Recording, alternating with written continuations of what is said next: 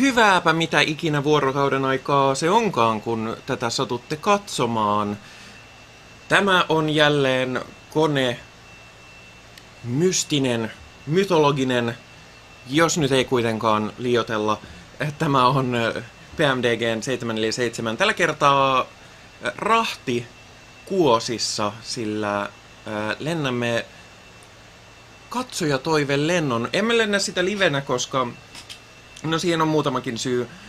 Tämä on liian pitkä mun lennettäväksi striimissä, vaikka teistä kaikista tykkäänkin ja on kiva rupatella, niin mä luulen, että neljä ja puoli, viisi tuntia Assembly Maratonin ulkopuolella on semmoinen, että sitä voi tehdä vaan, vaan hyvin poikkeuksellisissa olosuhteissa.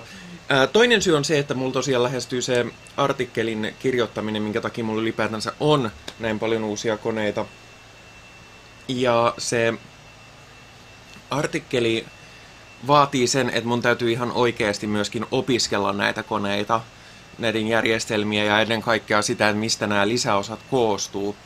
Ja yksi, mitä mä päätin, että mä teen tänään, on se, että sen sijaan, että mä rupattelen teidän kanssa, jälleen kerran mainitsen sen, että tosiaan teidän kanssa rupattelu on mitä mukavinta ja tykkään siitä kovasti, niin tämän pitkän lennon aikana mulla on hyvin aikaa tutkia näitä kaikenlaisia koneita, mitä mä oon viime aikoina saanut, lukea dokumentaatioita ja muuta.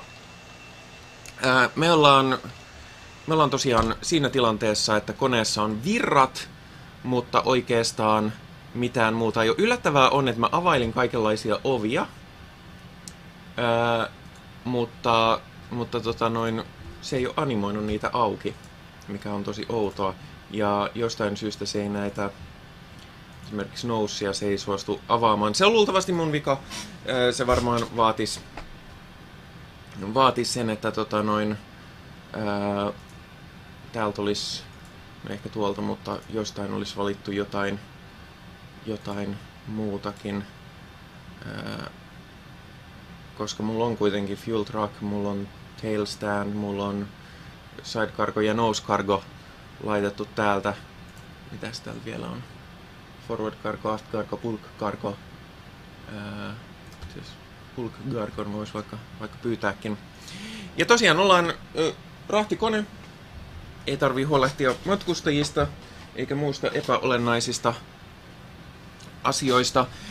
Ja myöskin, koska ei olla livenä, niin mä voin myöskin tehdä kaikenlaista asiaa tässä vähän rennommalla aikataululla. Minkä, mistä seuraa se, että seuraamme lentokoneen normaaleja proseduureja, ja nämä tosiaan tulee koneen mukana, mutta nämä on copyright The Boeing Company, eli nämä on ihan ne, mitkä menee, menee lentomiehistöille tai lentohenkilökunnalle. Ja, ja tota noin, lähdetään niistä. Mä en katso niitä tässä, tässä näytössä, tämä on vaan, tää on vaan näyt, näyttämään teille, että tämä on se dokumentti, mitä seurataan. Mulla on ne tabletilla ne jutut tai toi dokumentaatio.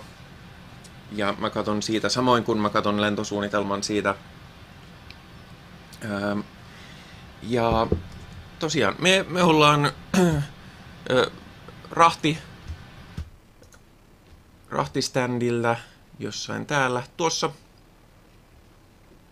Ja käytetään Pro ATCX, niin kuin palkissa lukeekin. Ja, ja tota, GSX mä käytän vaan pushbackiin, koska se on, se on jotenkin, se on ollut jotenkin temperamenttinen viime aikoina. Mä en tiedä, olisiko se jotain Prepared versio 4 yhteensopivuusongelmaa. Ähm, mutta aloitetaan meille tyypilliseen tapaan. Laitetaan, meille tulee todella, todella ää, raskas, raskas tota, kone Tehän mä oon tottunut niin päin, että mulla on, mulla on näin päin, että mulla on vasemmalla puolella mulla on lentotietokone ja oikealla puolella on tää menu-tietokone. FS Actions Payload.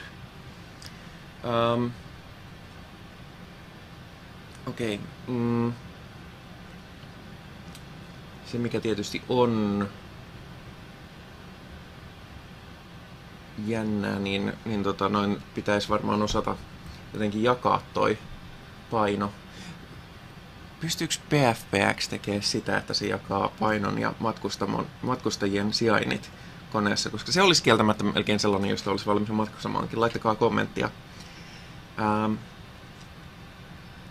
meille tulee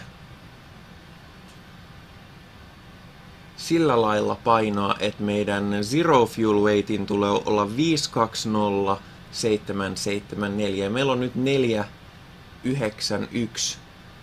Eli lisätään tasaisesti kaikkiin. Mikäs on max? Max on 65.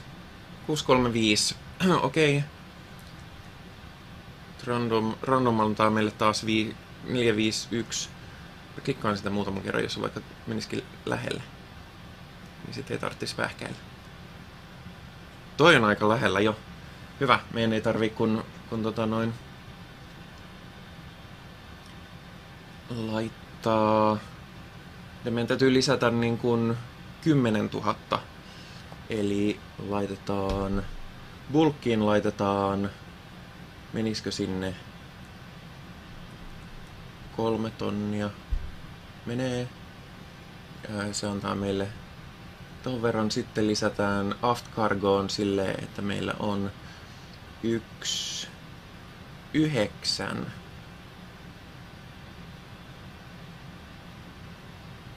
yhdeksän viisi kahdeksan. Forwardiin lisätään kans muutama pykälä. Yksi seitsemän, viisi, y, kolme, yksi.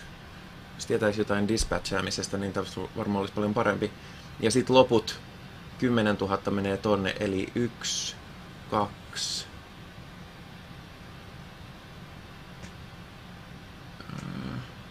Paljon me tarvitaan vielä? Mä laitan ensin 1, 2, 2, 9, 4, 2.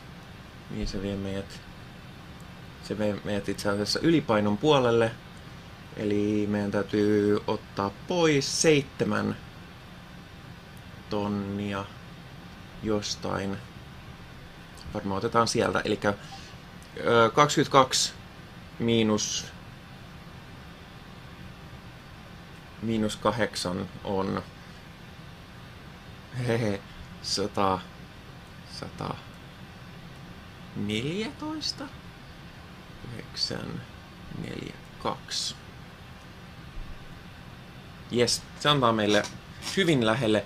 Nyt meillä on ground weight ja take off center of gravity meillä näyttää olevan tolle, että mä en tiedä onks noi noita onks noi lukuina epäkelpoja.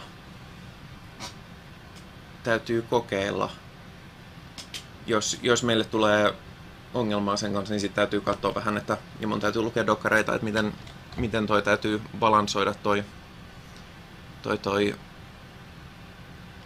rahti, mutta, mutta kokeillaan. Lähdetään proseduureja eteenpäin. Elikkä Preliminary flight, pre-flight procedure assumes that the electrical power-up supplementary procedure is complete. Se on, sen mä tein jo ennakkoon. ERAS mode selectors off, then nav. Left, right ja center. Voice recorder switch on päällä. Status display check. Verify that only expected messages are shown. Mä katon sen, mä menen aika monet checkit itse asiassa, mä hyppään yli, koska ähm, koska tota, ää, mä tiedän, että simulaattori antaa mulle ää, korrektin position. Ja mä laitan Salt Lake City. Mä annan, mä annan me, meille meidän, meidän position tolle IRSlle mahdollisimman nopeasti, jotta vältytään driftiltä, koska se on, se mä luin, että, että mitä nopeammin saa sen jälkeen, kun sä laitat IRS nav-moodin, niin mitä nopeammin sä annat niille, että mihin niiden täytyy synkata itsensä, niin sitä vähemmän ne driftaa siinä välissä. Uh, yes. Do the remaining actions after crew change or maintenance check. Okei, okay, eli mun ei tarvi katsoa. Mä en katso, että meillä on, niin kun, meillä on kirves oikeassa paikassa ja, ja emergency escape devices. Silloin ihan sama. Hatch, closed and locked, smoke evacuation handle, bla bla bla. Mä en katso näitä tosiaan, näitä koska se on APU start source switch.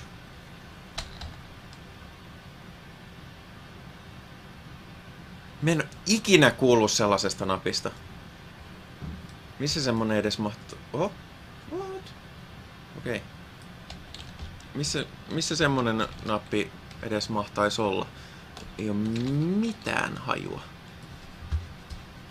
Olisiko se jossain täällä? Oho.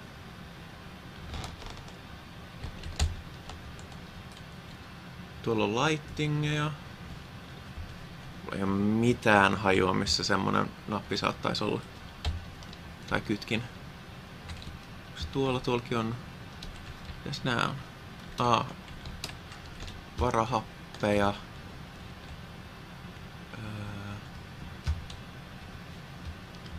Okei, okay, mä en juutu semmosiin kohtiin, että jos mä en ole koskaan kuullutkaan sellaisesta napista, niin mä, mä sovitan, että se on TR.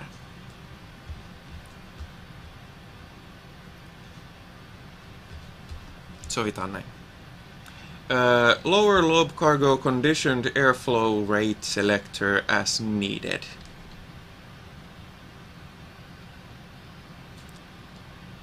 Musta se, musta se on tällä hetkellä just hyvä. Ihan täydellinen.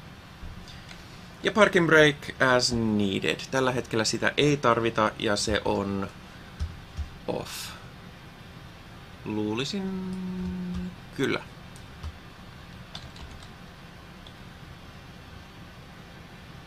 CDU, preflight uh, procedure, okei, okay, posinit ja sellaiset mä teinkin jo, navigation data set, set route, enter the route, yes, ja tota noin, joo, tämä teen ihan vanhaan malliin. Origin on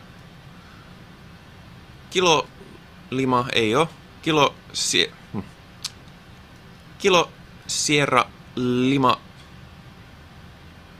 Charlie ja mennään Papa Alpha November Charlieihin. Elikkä, elikkä tonne Ted Stevens Internationalille. Mikä se kaupunki on, missä se on? En mä edes muista. Äh, siis Alaskan isoin kaupunki ja pääkaupunki. Äh, no, sinne kuitenkin. Mennään pankkiin. Kyllä te, kyllä te kaikki tiedätte. Ää, runwayta mä itse asiassa en tiedä vielä, mutta mä voisinkin piruuttaa tai pyytää jo tässä vaiheessa ton clearancein, niin, niin saadaan se käyntiin. Eli mä turautan, turautan tota, ton Pro ATCX ja samalla mä heitän tonne, että Fly Now, niin saatte myöskin tietoja tonne olapalkkiin. Please switch to clearance delivery 127.30. Mä katon ensin meidän sään, mulla onkin täällä ladattuna. eli siellä on 120 tuuli 4 solmua ää, ja 30-20 on paine. Broken Clouds, Broken Clouds, 23 astetta, tulisiko täällä olisiko täälläkin vaan 32 astetta, eikö siis 23 astetta. Ähm, eli 3020 on paineet, ne on aina tärkeä muistaa laittaa, ihan niin kuin mä muistan aina mun striimeissäkin laittaa ne ihan oikein. Oho, väärä suunta.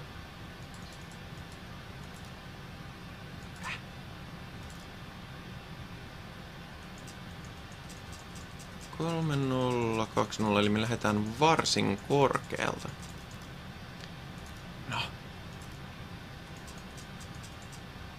3020 ja ollaan yli 4000 jalassa ja me ollaan painavia ja on aika lämmin. Se tulee varmaan tarkoittamaan sitä, että me, meidän täytyy olla lähellä äh, toogaa, että me ylipäätään se lähe, päästään liikkeelle. Uh, yes.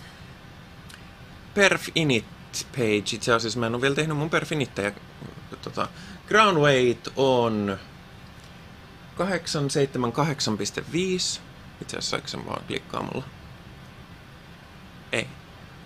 Kahdeksan... Ei kun hetki, meillä ei ole vielä tota polttoainetta. Mitä mä sekoilen? Fuel. Öö, me tarvitaan polttoainetta polttoainetta 112 000. Se muuten helpottaa huomattavasti noita lukuja tuolla, jotka painaa näköjään ylimääräistä. 112 726. Noin. Ja se antaa meidän tota, noin Center of Gravityllekin jotain vähän järkevämpiä lukuja. Hienoa. Eli Ai ai. Mä laitoin vahingossa 725. Saan nähdä loppuuko meillä kesken kaiken polttoaine, kun meillä on yksi pauna liian vähän polttoainetta. Katsotaan ja toivotaan parasta. Eli ground weight meillä on sittenkin 632,1. 1. Reservejä siitä on 18 000,9 tonnia, ei 18,9 tonnia. Cost Index meillä on 25. Ja Cruising Altitude meillä on aluksi 360 ja sitten yhdessä vaiheessa nostetaan 380.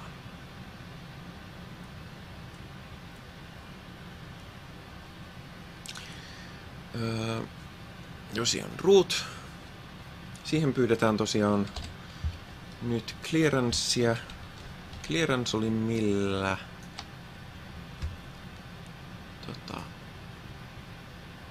27.3. Ah, se onkin siinä valmiina. Aktivoidaan vaan tämä. Clear delivery, UPS 6645. Parking position, Terminal 1, parking position 7 with the ATIS for request clearance. UPS 6645. Expect clearance within 2 minutes. Okei, okay, se pistää meidät odottamaan, mikä on... Se on vähän ärsyttävää, ei se edes, ei se edes juttele kellekään. Sillä aikaa voidaan itse asiassa sulkea jo, koska meillä on meillä on fuel, meillä on payload, niin close all.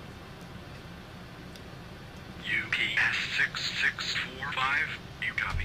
Aha. Uh, Roger, UPS 6645. UPS 6645, are you ready? To copy? We're ready, go ahead. UPS 6645, cleared with PANC. Null 1 departures vectors to TFF ja. 16 right. Se on kaikki mitä me ollaankin. Climb maintain 12 000.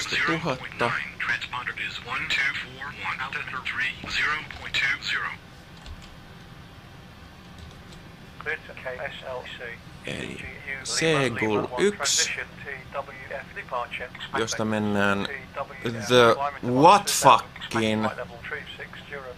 Se oli teillä kaikilla kuitenkin mielessä. 16 right. Altimeter 30.20. UPS 6645. Route siitä eteenpäin on... Ai niin, flight number meillä on...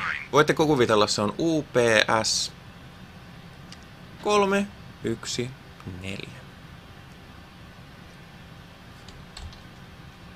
Uh, Roger, 121.9, UPS 6645. Oho, ei mun pitänytkään activate tota vielä, kun... Sitten, siitä me mennään direct Sierra Eco Alpha. Siitä Juliet 502.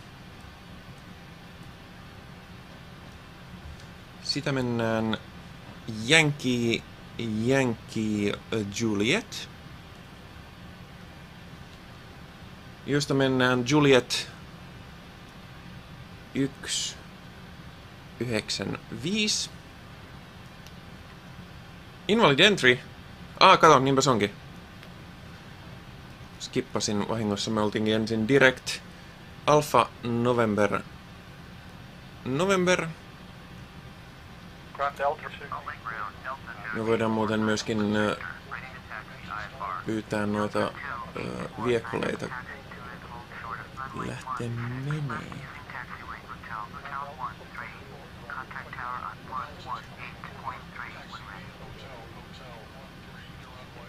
Lähtekää menee. Sitten voidaan katsoa tuolta animaatioita, koska animaatiot on aina hienoja.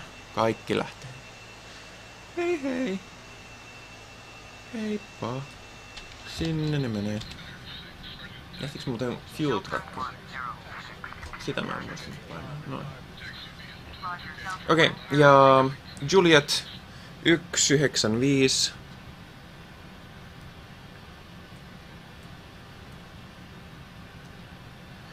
Ja sitä mennään äh, Juliet Oscar Hotellin asti.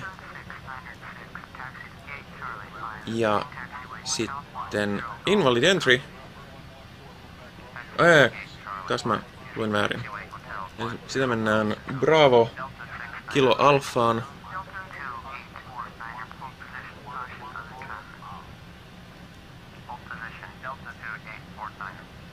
Ja siitä direct Juliet Oscar Hotel.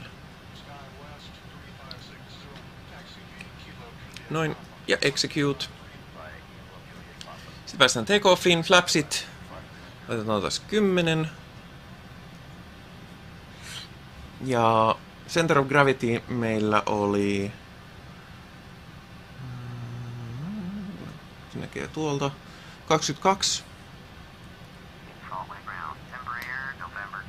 Ja siitä saadaan ihan järkevät luvut. 134, 146, 160. Trim 5.4. Onko mulla vielä hydrauliikkaa niin paljon, että mä voin tehdä sen? Voin. 5.4 on juurikin tuossa.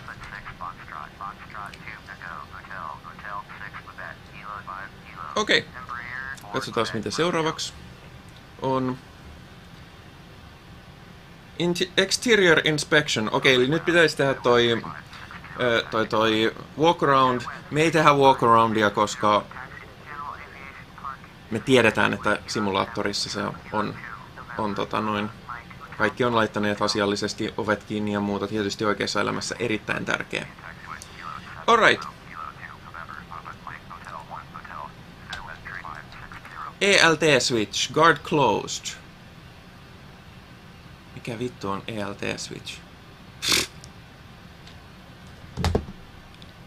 Öö.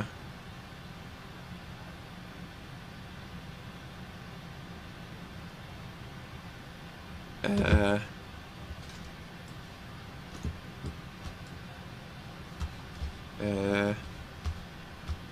Okei, okay, closed kyllä, kyllä tämä hoituu.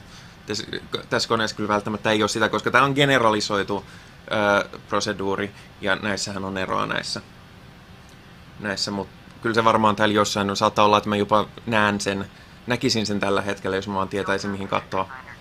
Uh, engine auto start switches on. Okei, okay, tässä ei ole auto start switchia, koska se olisi tossa. Electronic engine control switches normal on electrical panel set standby power selector auto utility power switches on battery switch on tie switches auto generator control switches on ja off lights are illuminated. Ja APU selector if needed. Start then on. Me ei tarvita vielä tässä vaiheessa APUta, joten mä skippaan vielä tässä vaiheessa, koska se on suluissa if needed. Hydraulic panel set. Demand pump selectors off. Uh, Okei. Okay.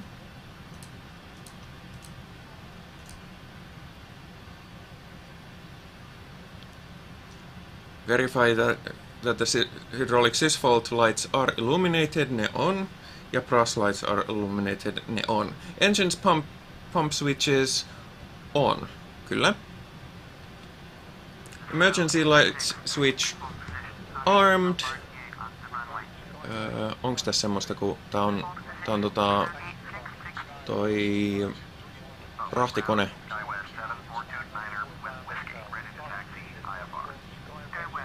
Mä odottaisin, että se olisi jossain täällä, jos se olisi. Ei kun tuolla. Yes, Captain's audio system normal, se on Observer audio system, joo. Service, no noin on interphone ja fuel transfer main 1 and 4 switch.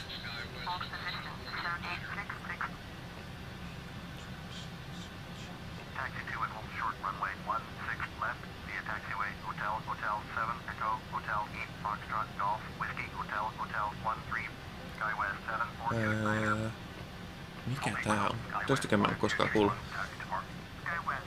Fuel transfer main 1 and 4 switch, switch off. Tarkoittaako se... Ei se tarkoita x koska sit siinä lukisi, että ne on x öö, Roger Delta 69 Fuel transfer switch. Mä en tiedä. Mä siis tiedän, että nää on nää, mutta... Mutta tota... Sovitaan, että se on ihan fine. Verify that the valve light is extinguished. No mä en näe mitään valve-valoa, joten hieno. Fire panel set. Okei, okay, jälleen nämä fire-jutut mä, mä skippaan, koska mä tiedän, että tää kone ei syty tuleen. Engine start panel set. Start switches in. Extinguished, kyllä. Standby ignition selector. Ground SkyWest 7438 Select... Hetken, start ignition, standby selector ignition normal, continuous ignition off, auto ignition single, auto ignition selector 1 tai 2, meillä ei ole sellaista. Ää, auto start switch on, meillä ei ole sellaista. Fuel jettison panel, kaikki on pois päältä. Fuel panel, all X-feed valve switches on. On. All fuel pump switches off ja press, press lights are illuminated, kyllä. Anti-ice panel uh, off, off. Window heat on. Windshield protection panel. Uh, ei tää on sitä. Landing light switches off, runway turn off light switches off, taxi light switch off. Passenger oxygen meillä ei oo semmosia. Your dampener switches on. Cabin altitude. Kaikki on automaatilla. Kyllä. Kyllä. Kyllä. SS panel. Passenger temperature selector meillä ei ole semmosia, joten skipataan aika paljon. Trim air switch on. Upper and lower recirculation switches, onks meillä sellaisia? Meillä ei taida olla sellaisia. Aft cargo heat switch off. Equipment cooling selector normal. High flow switch off. Gasper switch.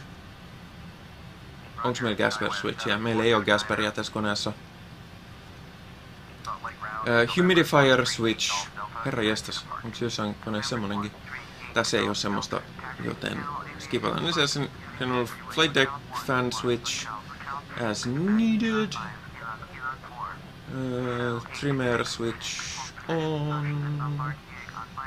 Hetkinen, tää on ihan samat systeemit. Bleeder system, Paxis fault. Illuminate. Ei ku, extinguished, joo, ei oo pack. Sysvoltteja. Pack control selectors. Normal. Left and right isolation switches on.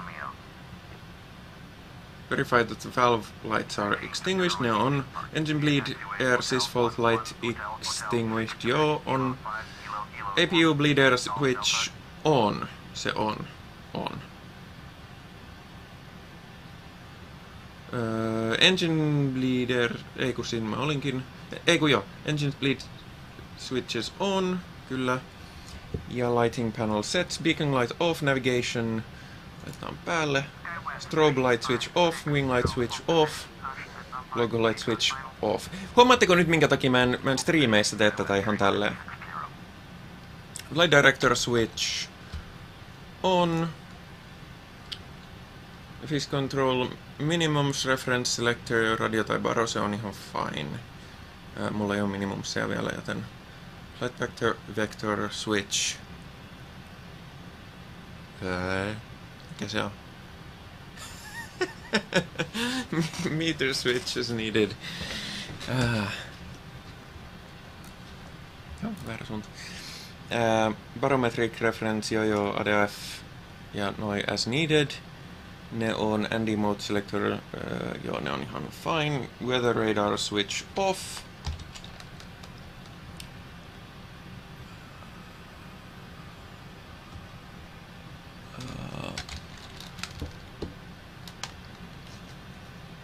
En mä tiedä miten noi laitetaan off.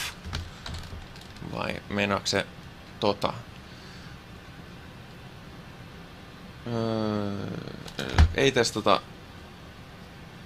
oxygeneja. Source select panel.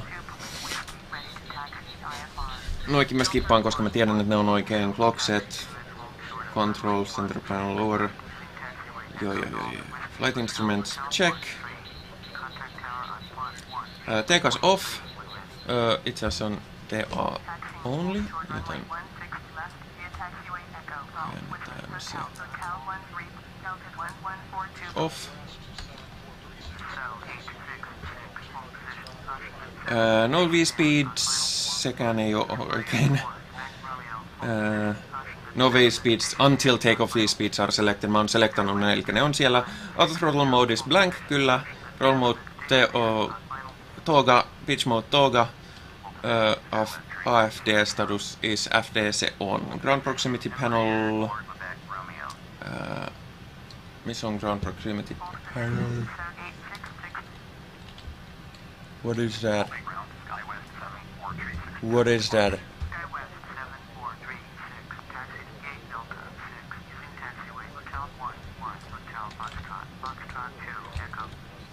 What is that? Onks tässä semmoista? Ei kun tuolla. Noni. Ground proximity light extinguished, kyllä. Uh, ground proximity flap override switch. Joo, ne on kaikki. Okei, noin kaikki. Mä, mä skippaan nekin, koska alternate la- flaps and gear, ne, joo. Uh, central brightness, heading reference switch normal. FMCM, bla, joo, nämä on kaikki sellaisia, joita voidaan skipata. Voidaan skipata. Weather radar panel set. Passenger signs, meillä ei ole passengereita. Outbreaks, selector, rejected takeoff. Noin. Ja noi piti se tota... Uh, emergency evacuation, joo joo joo joo joo. Seat adjust, joo, mulla on ihan jees. Ja sit on hirveästi toistoa, koska kapteeni tekee saman uudestaan, oli niinku first officer juttuja.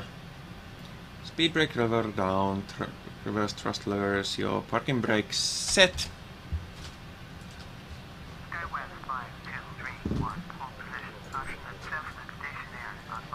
Uh, fuel control switches cut off.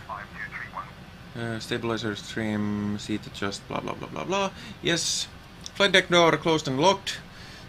Rahtikone, ei mitään väliä. CDU Display, MCP, Taxi and Takeoff Briefings. Eli me mennään 16 raitille ja me ollaan täällä, elikkä öö, me varmaankin saadaan Victor, Golf, Foxtrot ja sitten Alfa tai Bravo ja Alfa 11 tai Alfa 10. Ja sitten jos se antaa jotain muuta, niin mä aion silti takseilla just silleen. Uh, alright, start clearance obtain hydraulic panel set. Uh, ah, katos mä, mä skippasin. Max C- set V2. Mikäs meillä oli V2?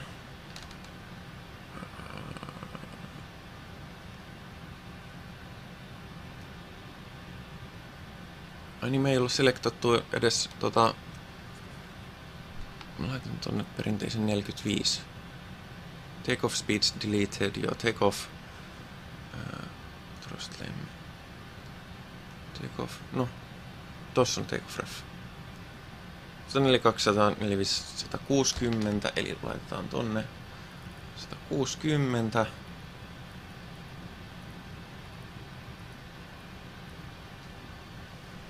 Uh, arm Lnav suite as needed.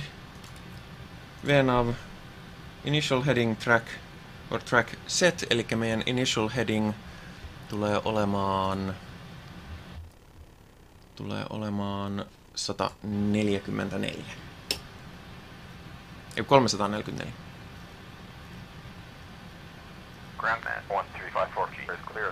Ei Request just, just, just se toinen. November 1354 Just tasan se toinen, Taxi 164. Hotel, two parking spot, 24. by hotel to parking position 24 man 1354G.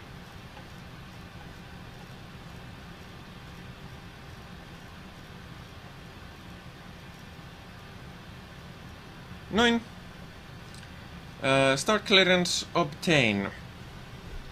Ensin otetaan uh, prepare for pushback and departure. Ja UPS on meidän. Ja me halutaan uh, nose right tail left. No.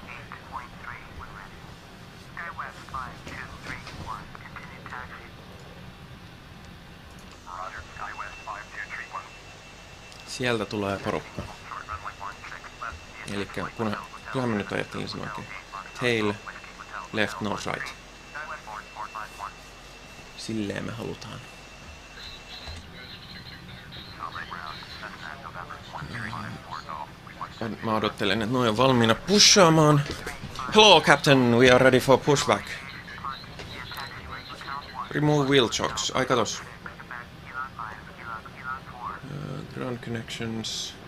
Ai hitsi, miten me ei olla vielä tota startattu noita noita noita tota APU-takaa tai muuta. Mä taisin hypätä vähän hypätä vähän liian pitkälle. Okei. Öö, jatketaan sitten ja ignorataan vaan toi. Eli eh, hydraulic panel pump 4 aux ja 1-3 auto. Fuel panel set. All main fuel tank pump switches on. Uh, öö, ei fuel pump switches.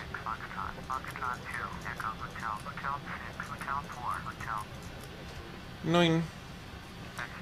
Center pump switches on. Onks meillä mitään center tankissa? Ei. Joten laitetaan se, laitetaan se pois. Öö, center fuel pump switches on. Niin, joo, niin just näin. Eli jos keskellä on enemmän kuin 17 000 ja siellä ei ole mitään. Öö, yes, beacon light switch. Molemmat. Recall switch, push. Okei, no mä en, mä en antaa nyt olla. Öö, fuel tank engine. Jos on shown,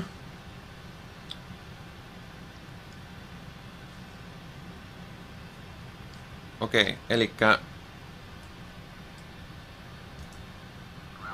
Mut näissä on ihan, ihan tasaiset, minkä takia mulla näkyy ne.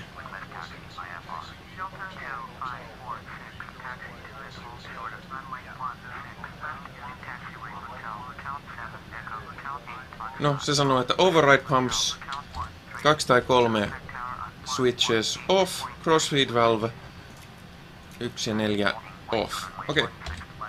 Cancel switch. Öö, hetkinen. Se ei ollutkaan toi. Tuolla. Cancel. Alright. Trim. Joo, sen mä laitoin. Set the trim for take off. Okei, okay, mun olisikin pitänyt laittaa ilmeisesti se APU silloin päälle, vaikka siinä lukikin, että vaan että if needed, mutta ilmeisesti if needed on aina. Joten siinä tuli sählättyä. Katsotaan, mistä mä näen... Mistä ihmeestä näkyy APU? Tuolla.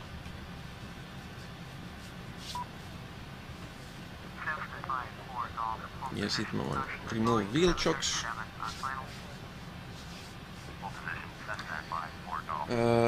Call before start checklist. Mulla itse asiassa oo tässä niitä checklistoja, joten me skipataan ne, koska mä oon mennyt nää muuten niin kauhean tarkasti läpi. Niin mulla ei tarvi olla niin montaa juttua. Eikö hetkinen, nehän on tossa... Nehän on tossa. Eikö tuossa on before take off, after take off, approach, landing. Siinä ei oo muita. Joo, ei.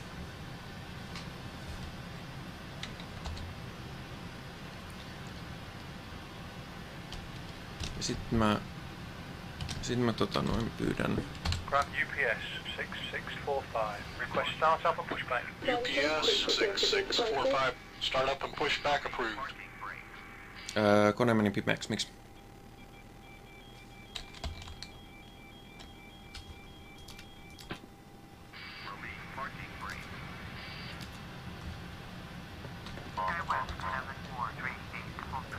Ei kai se nyt toivottavasti tota... Toivottavasti se nyt ei tipauttanut kaikkea. Jotain mä tein nyt väärässä... Jotain mä tein väärässä järjestyksessä, mutta... Mä en oikein keksi mitä silloin. Mä en, mä en erottanut... Mitä mä... Sen... Okei, okay. release parking brake joka tapauksessa. Alright, meillä on ilmeisesti... All engines clear, started well. Alright. Transponder as needed. Se on nyt... Okay. Pack control selector. Set two or three packs off. Uh, laitetaan kaksi pois. Start sequence. Announce. Me aloitetaan nyt. Fuel control switch. Run. Kakkonen ja kolmonen. Verify the oil, press, oil pressure increases. Mm, pitää laittaa se tuolta. Nousi se. Mm, alright. Back control, start sequence, fuel control switch. Ja engine start switch.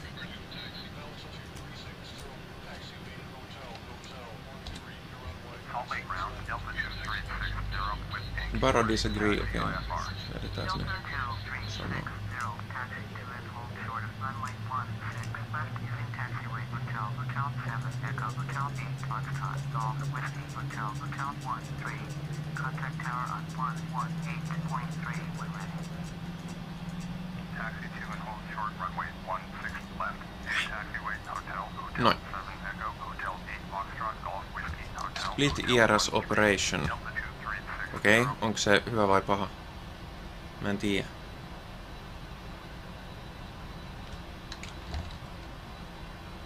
Tekas on off vielä tässä vai... No just väärään suuntaan, niin tietysti. Ei nakkimakkara. Mä katsoin kahteen kertaan, että eikö mun pidä justiinsa tähän suuntaan. Okei. Okay, um, alright, mä... Mm, sitten startataan ykkönen ja nelonenkin, koska miksei. Noin.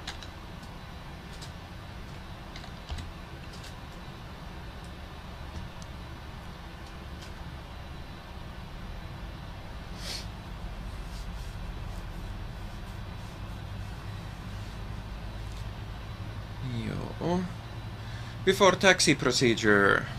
Uh, no, odotetaan, että noin, noi, tota, noin ensin starttaa kunnolla noin moottorit.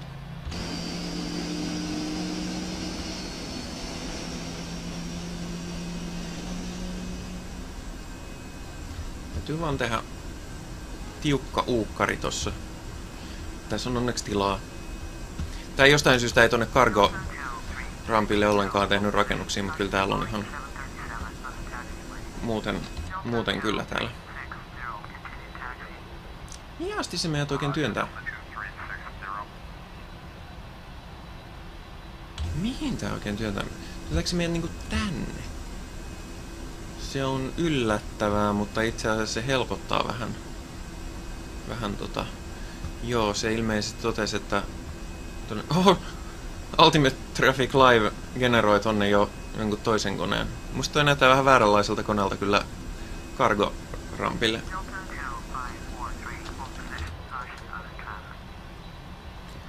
T-kassi voi varmaan tässä vaiheessa laittaa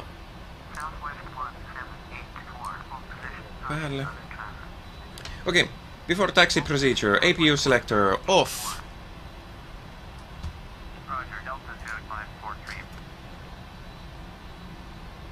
Nacelle anti-ice switches as needed after cargo heat switch as needed. Sovitaan, että meillä ei ole mitään, mitä me tarvitaan. Packs normal. Uh, flaps as needed for takeoff, eli flaps 10. Flight controls, check. Uh, mistä täällä näkee noin?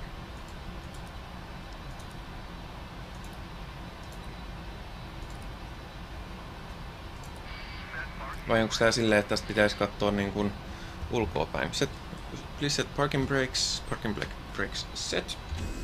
Okay, full forward, full backward.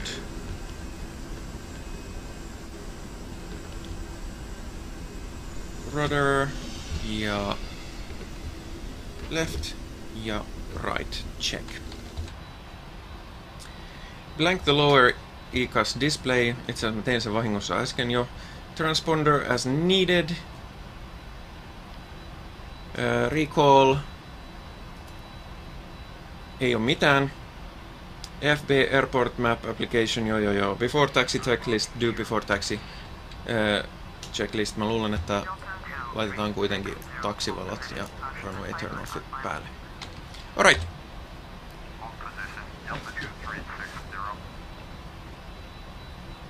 Me ollaan valmiita saamaan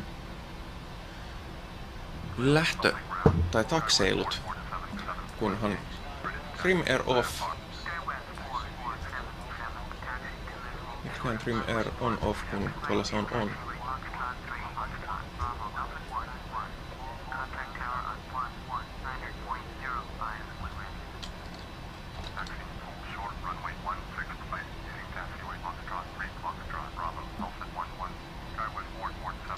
No, mä, se ei kuitenkaan mun mielestä ole semmonen, että täytyisi edes katsoa noita abnormal procedureseita tässä vaiheessa. Itse asiassa kun mulla on tässä toinen näyttö, niin voimme tietysti katsoa. Täällähän se on. Niin... Mm, trim.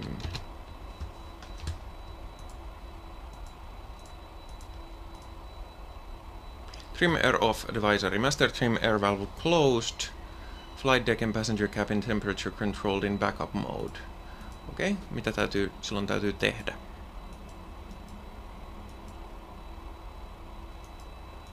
Eikö tässä olekaan abnormal, abnormal uh, checklistat?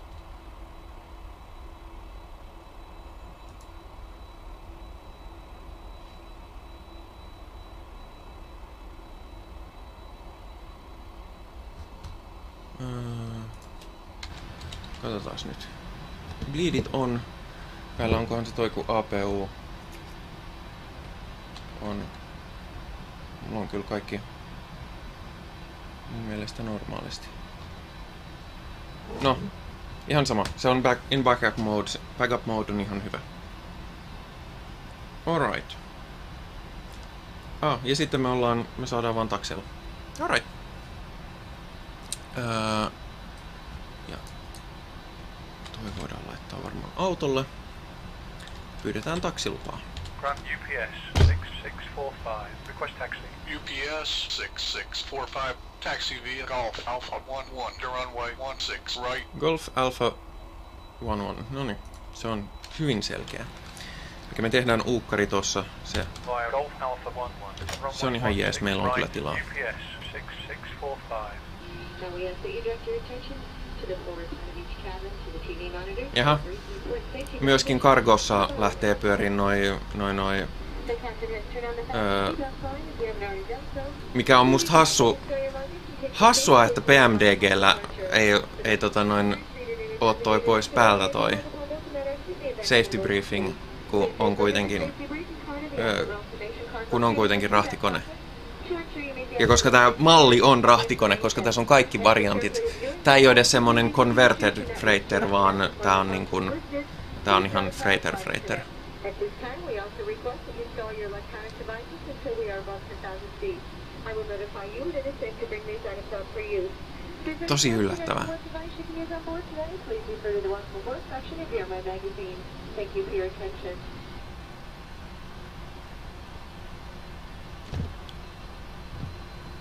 Ah, itse asiassa meidän olisi... Hmm, taas mun hyvää kartanlukutaitoa. Meidän olisi itse asiassa kannattanutkin painaa tosta suoraan, mutta me nyt mennään tätä kautta.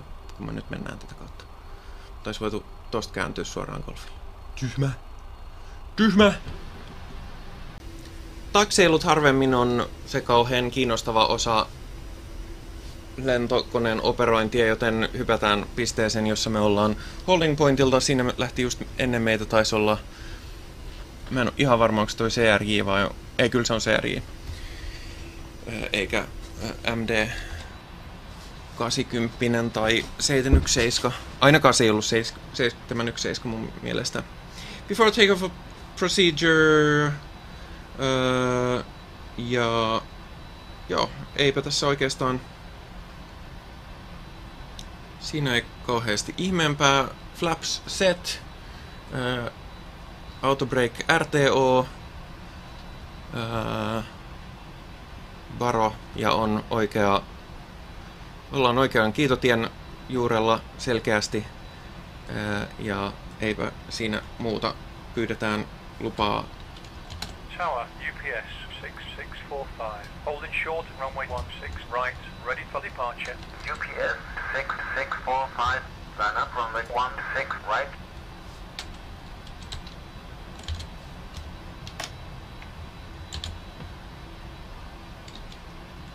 Lining up runway 16 right. UPS up. 6645. ää, ja Tower N13858. Ja koska me ollaan menossa, niin mun, N1385. mitä mä tiedän, niin tässä kohtaa täytyy laittaa strobit päälle, koska ollaan menossa, menossa tonne kiitoradalle. Final approach speed. Altimeter 30.20 N13858X. One six right. UPS 6645. Wind 120 at 4. Runway 16 right. Cleared for takeoff. Cleared for takeoff laitetaan landing wallot päälle. Runway 16 right. Clear for takeoff. Ja. UPS 6645. Transponder TRRA strobe switch on. Uh, advance the thrust levels to approximately 70 prosenttia N1. Ja kun on valmis, niin toga.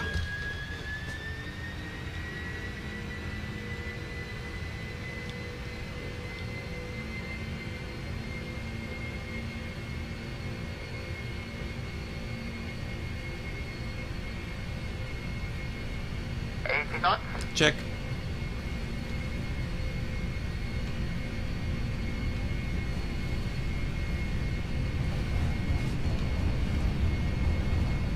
V1. V1. Rotate. Rotate. Varova rotate, koska V2.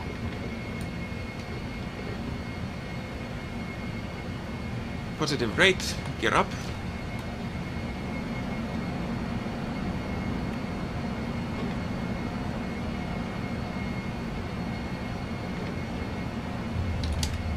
Flaps 5. UPS 6645, contact departure on 120.90. 120.9 UPS 6645. No Land kolmonen, sanoo lentotietokone. En tiedä miksi. Roger UPS 6645. With you passing 6100 for 12000. UPS 6645, radar contact,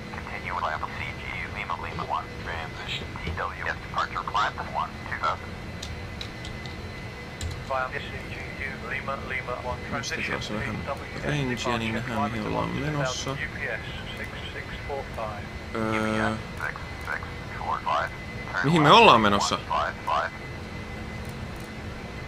turn heading 155.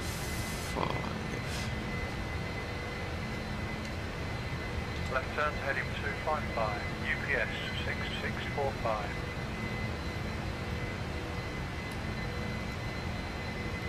One, maintain present altitude. Maintain present altitude one. No, UPS Select. 6645, turn right, heading 255.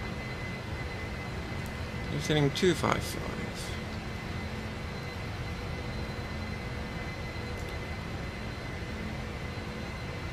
Ah niin, mulla on autopilotti päällä. Sen takia se ei tee mitä mä meinasin, että, että se tekisi. Right turn to heading 255. UPS 6645. Skywest 4463, climb to 1, 1000. Climbing to 1, 1000, Skywest 4463.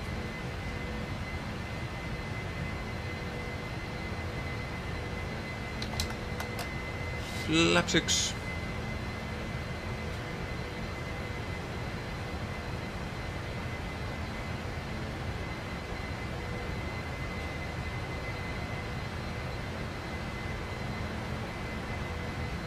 Ah, siinä on Vectors. Sen takia tää kone... Voisi tietysti... Se olisi pitänyt katsoa tietysti etukäteen, mutta no tää meni nyt tälläkin. 42, Roger. Ja flapsa. Gear off. Roger N113 with you at 14300. UPS 6645, turn right, heading 315. Climb to flight level 180 to CLR. Corvr. Alright. Right turn heading 315. Climb 315. Continue on navigation to CORB. 180. At 1139W, Roger. Select ja...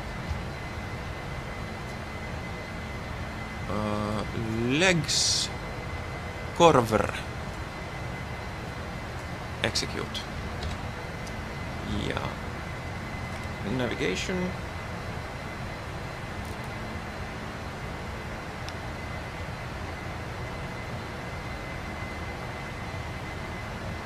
Tai siis... don't N- Noland kolmonen sanoo lento... Niin tältähän olisi pitänyt katsoa se Trim Erkin, mutta tota noin katsotaan. No Land ko- kolme. Mitä, mitä sanoo hän? The Autoland system does not have redundancy for a triple channel Autoland. Okei. Okay. Sitten ei oo. En tiedä miksi, mutta sitä ei oo. Se on ihan fine. So recall Climb to 157, climbing to 15,000, 11 tonnia on rikottu. Ulkovalot pois. No, Departure southwest 1275 with you at 8000. 1275, identified. liikkeelle ollaan todistetusti päästy. Delta 642, descent to 16,000, descent to 16,000, Delta 642.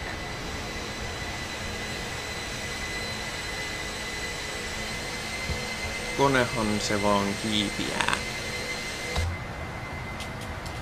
Öö,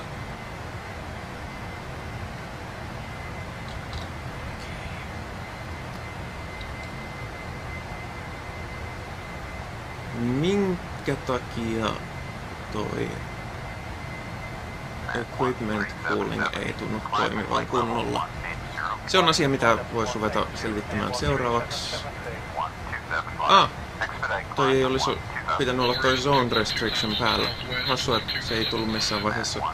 ylös. After takeoff checklist. Uh, flaps retracted and locked. Flaps, ei kun siis gear. Flaps up. Uh, lights off. Climb to flight level 290. Climbing to flight level 290, UPS 6645. 990. Tää toimii muuten taas tää mun ää, autopilotti ää, palikka. Siin, siinä ja tuossa kamerakontrollisysteemissä oli, oli tota... Ah, mä unohdin painaa ton UPS 6645. Chronon. Contact Salt Lake City on 135.77. 135.77, UPS 6645. Salt Lake City, UPS 6645. Ehkä se on sen takia, kun... Flight level 170. Olisikohan siinä IRSssä sitten käynyt jotain, että mä- odotin liian pitkään ennen kuin... Ennen kuin koska katsotaan mitä se nyt...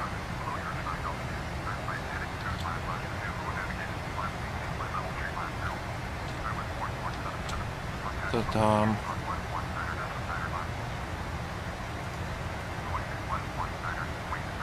Mistä mä näen? Tuolla Navrad. Ei. Mistä mä pystyn käy tsekkaamaan ton?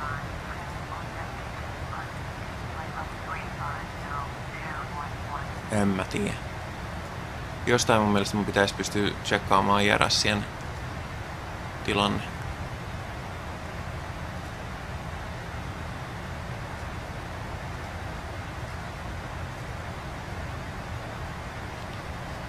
No.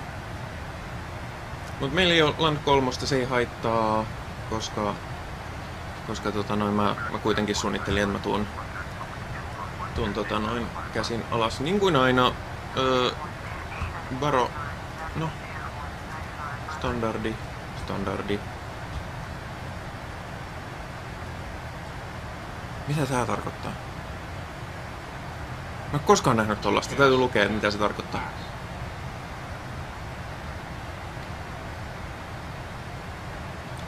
Uh, yes.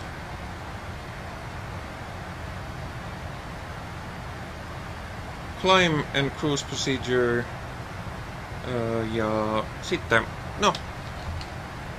Uh, mennään sopan läpi.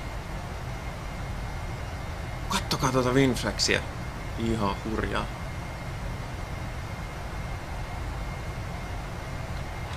Mut kyllä noissa aikamoinen Winflexi todellisuudessa on, että mä veikkaan, että tuo on ihan todellisuuden mukana. No niin, mutta mä oon matkalla. Nyt ehkä huomasitte, minkä takia mä normaalisti en tee tätä tällä tavalla niin kuin realistisesti kaikkia proseduureja seuraten. 645. Contact Salt Lake City on 128.55.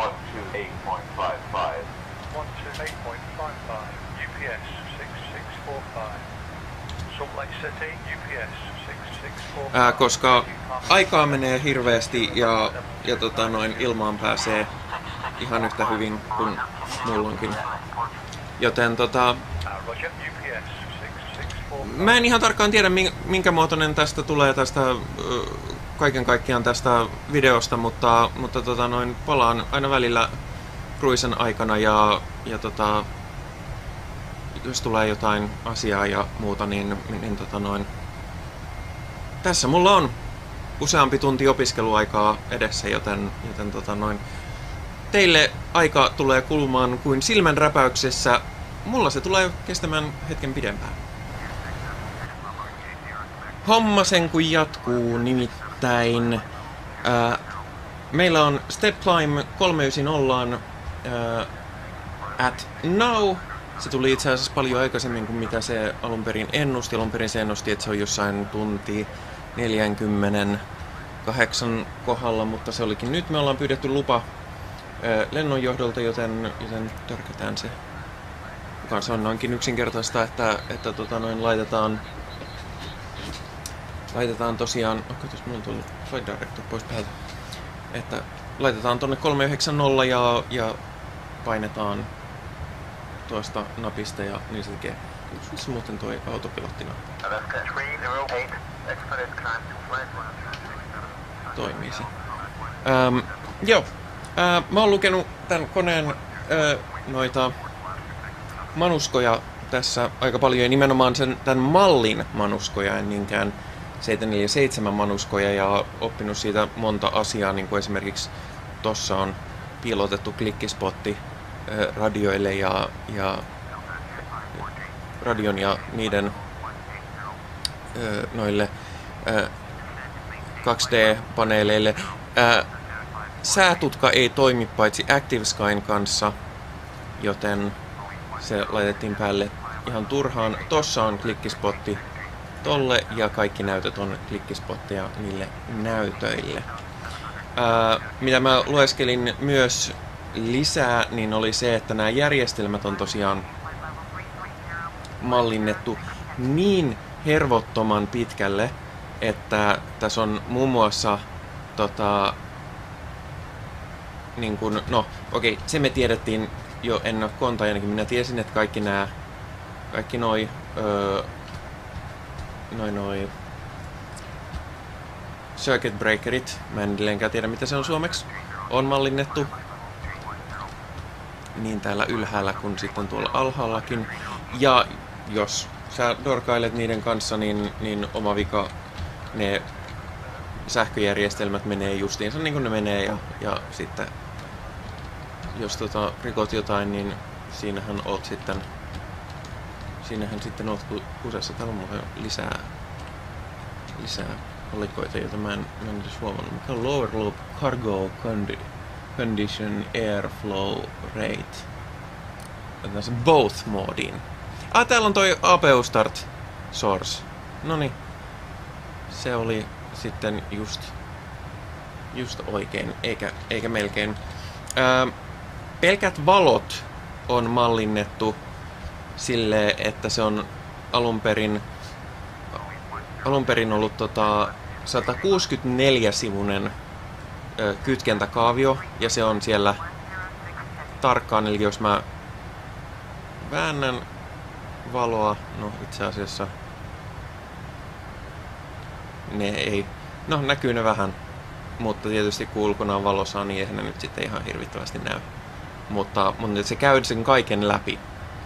Myös se, minkä takia tämä lentotietokone välkkyy miettimään pois, on, että se mallintaa ö, tota, koneen, lentotietokoneen pr- prosessoritehoa, joka siis on suunnilleen sama kuin Intel 8086 tietokoneissa, eli tietokone ennen 286. Eli siis hyvin hyvin vanhaa teknologiaa ja, ja sen takia se menee stepsizeja pystyy muuttamaan, mutta tota, noin ikä on meille ihan hyvä. Tota, nyt lennetään tosiaan 390, vai ollaan tosiaan Optimin yläpuolellakin ja enää meillä ei steppiä kolmeen neljään, ei kun neljään kolmeenkymmeneen meillä ei enää ole. Mä en tiedä pystyykö tämä kone edes nousee niin pitkälle. Selvis myös minkä takia mä en saanut sitä nenä ö, porttia auki, johtuu siitä, että nuo isot rahti ovet, niin ne vaatii erillistä sähköjärjestelmää. Eli mulla oli external power päällä, mutta mulla ei ollut esimerkiksi APUta eikä mulla ollut kahta external poweria, jolloin jolloin tota noin, mulla ei ollut niihin tarpeeksi virtaa. Ja mulla pitää, että ne toimii, niin mulla pitää olla kaksi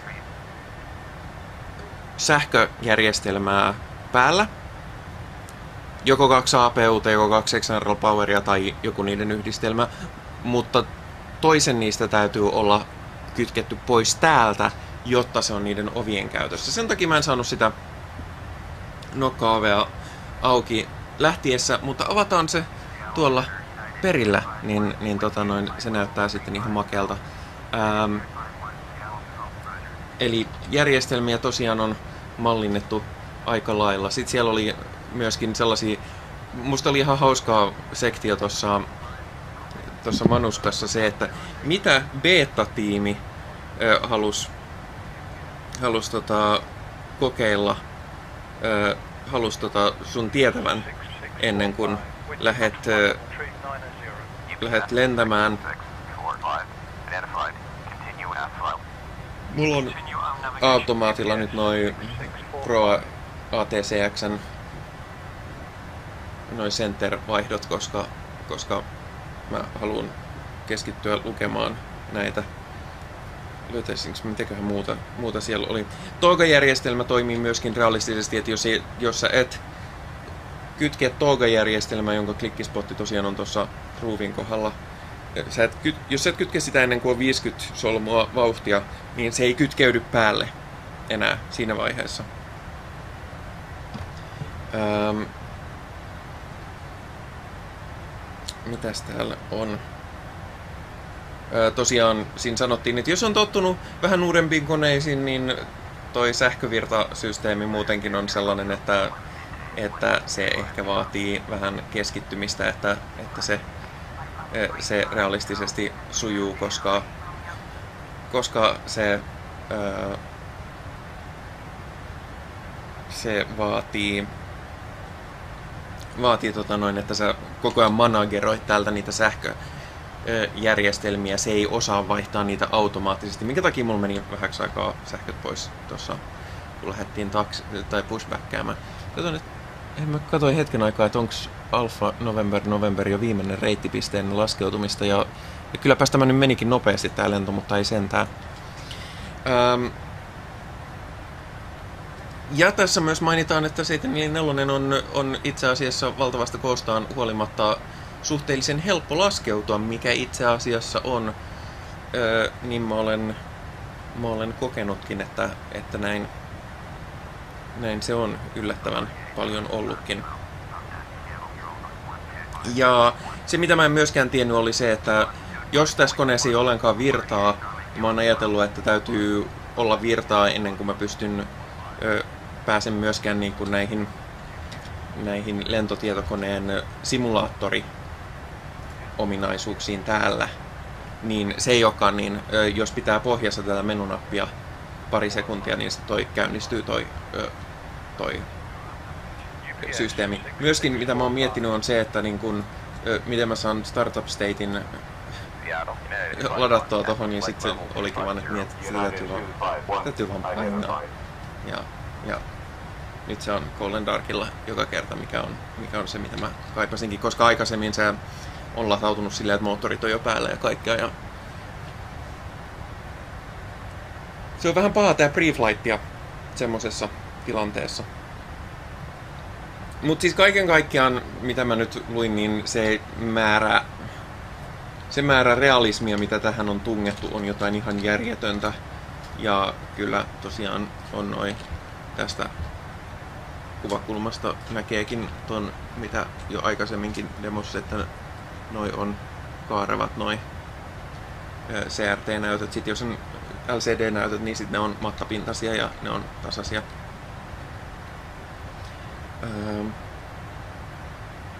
Ja sitten About napilla kuulemma näkee lyhyen animaation. Katsotaanpas.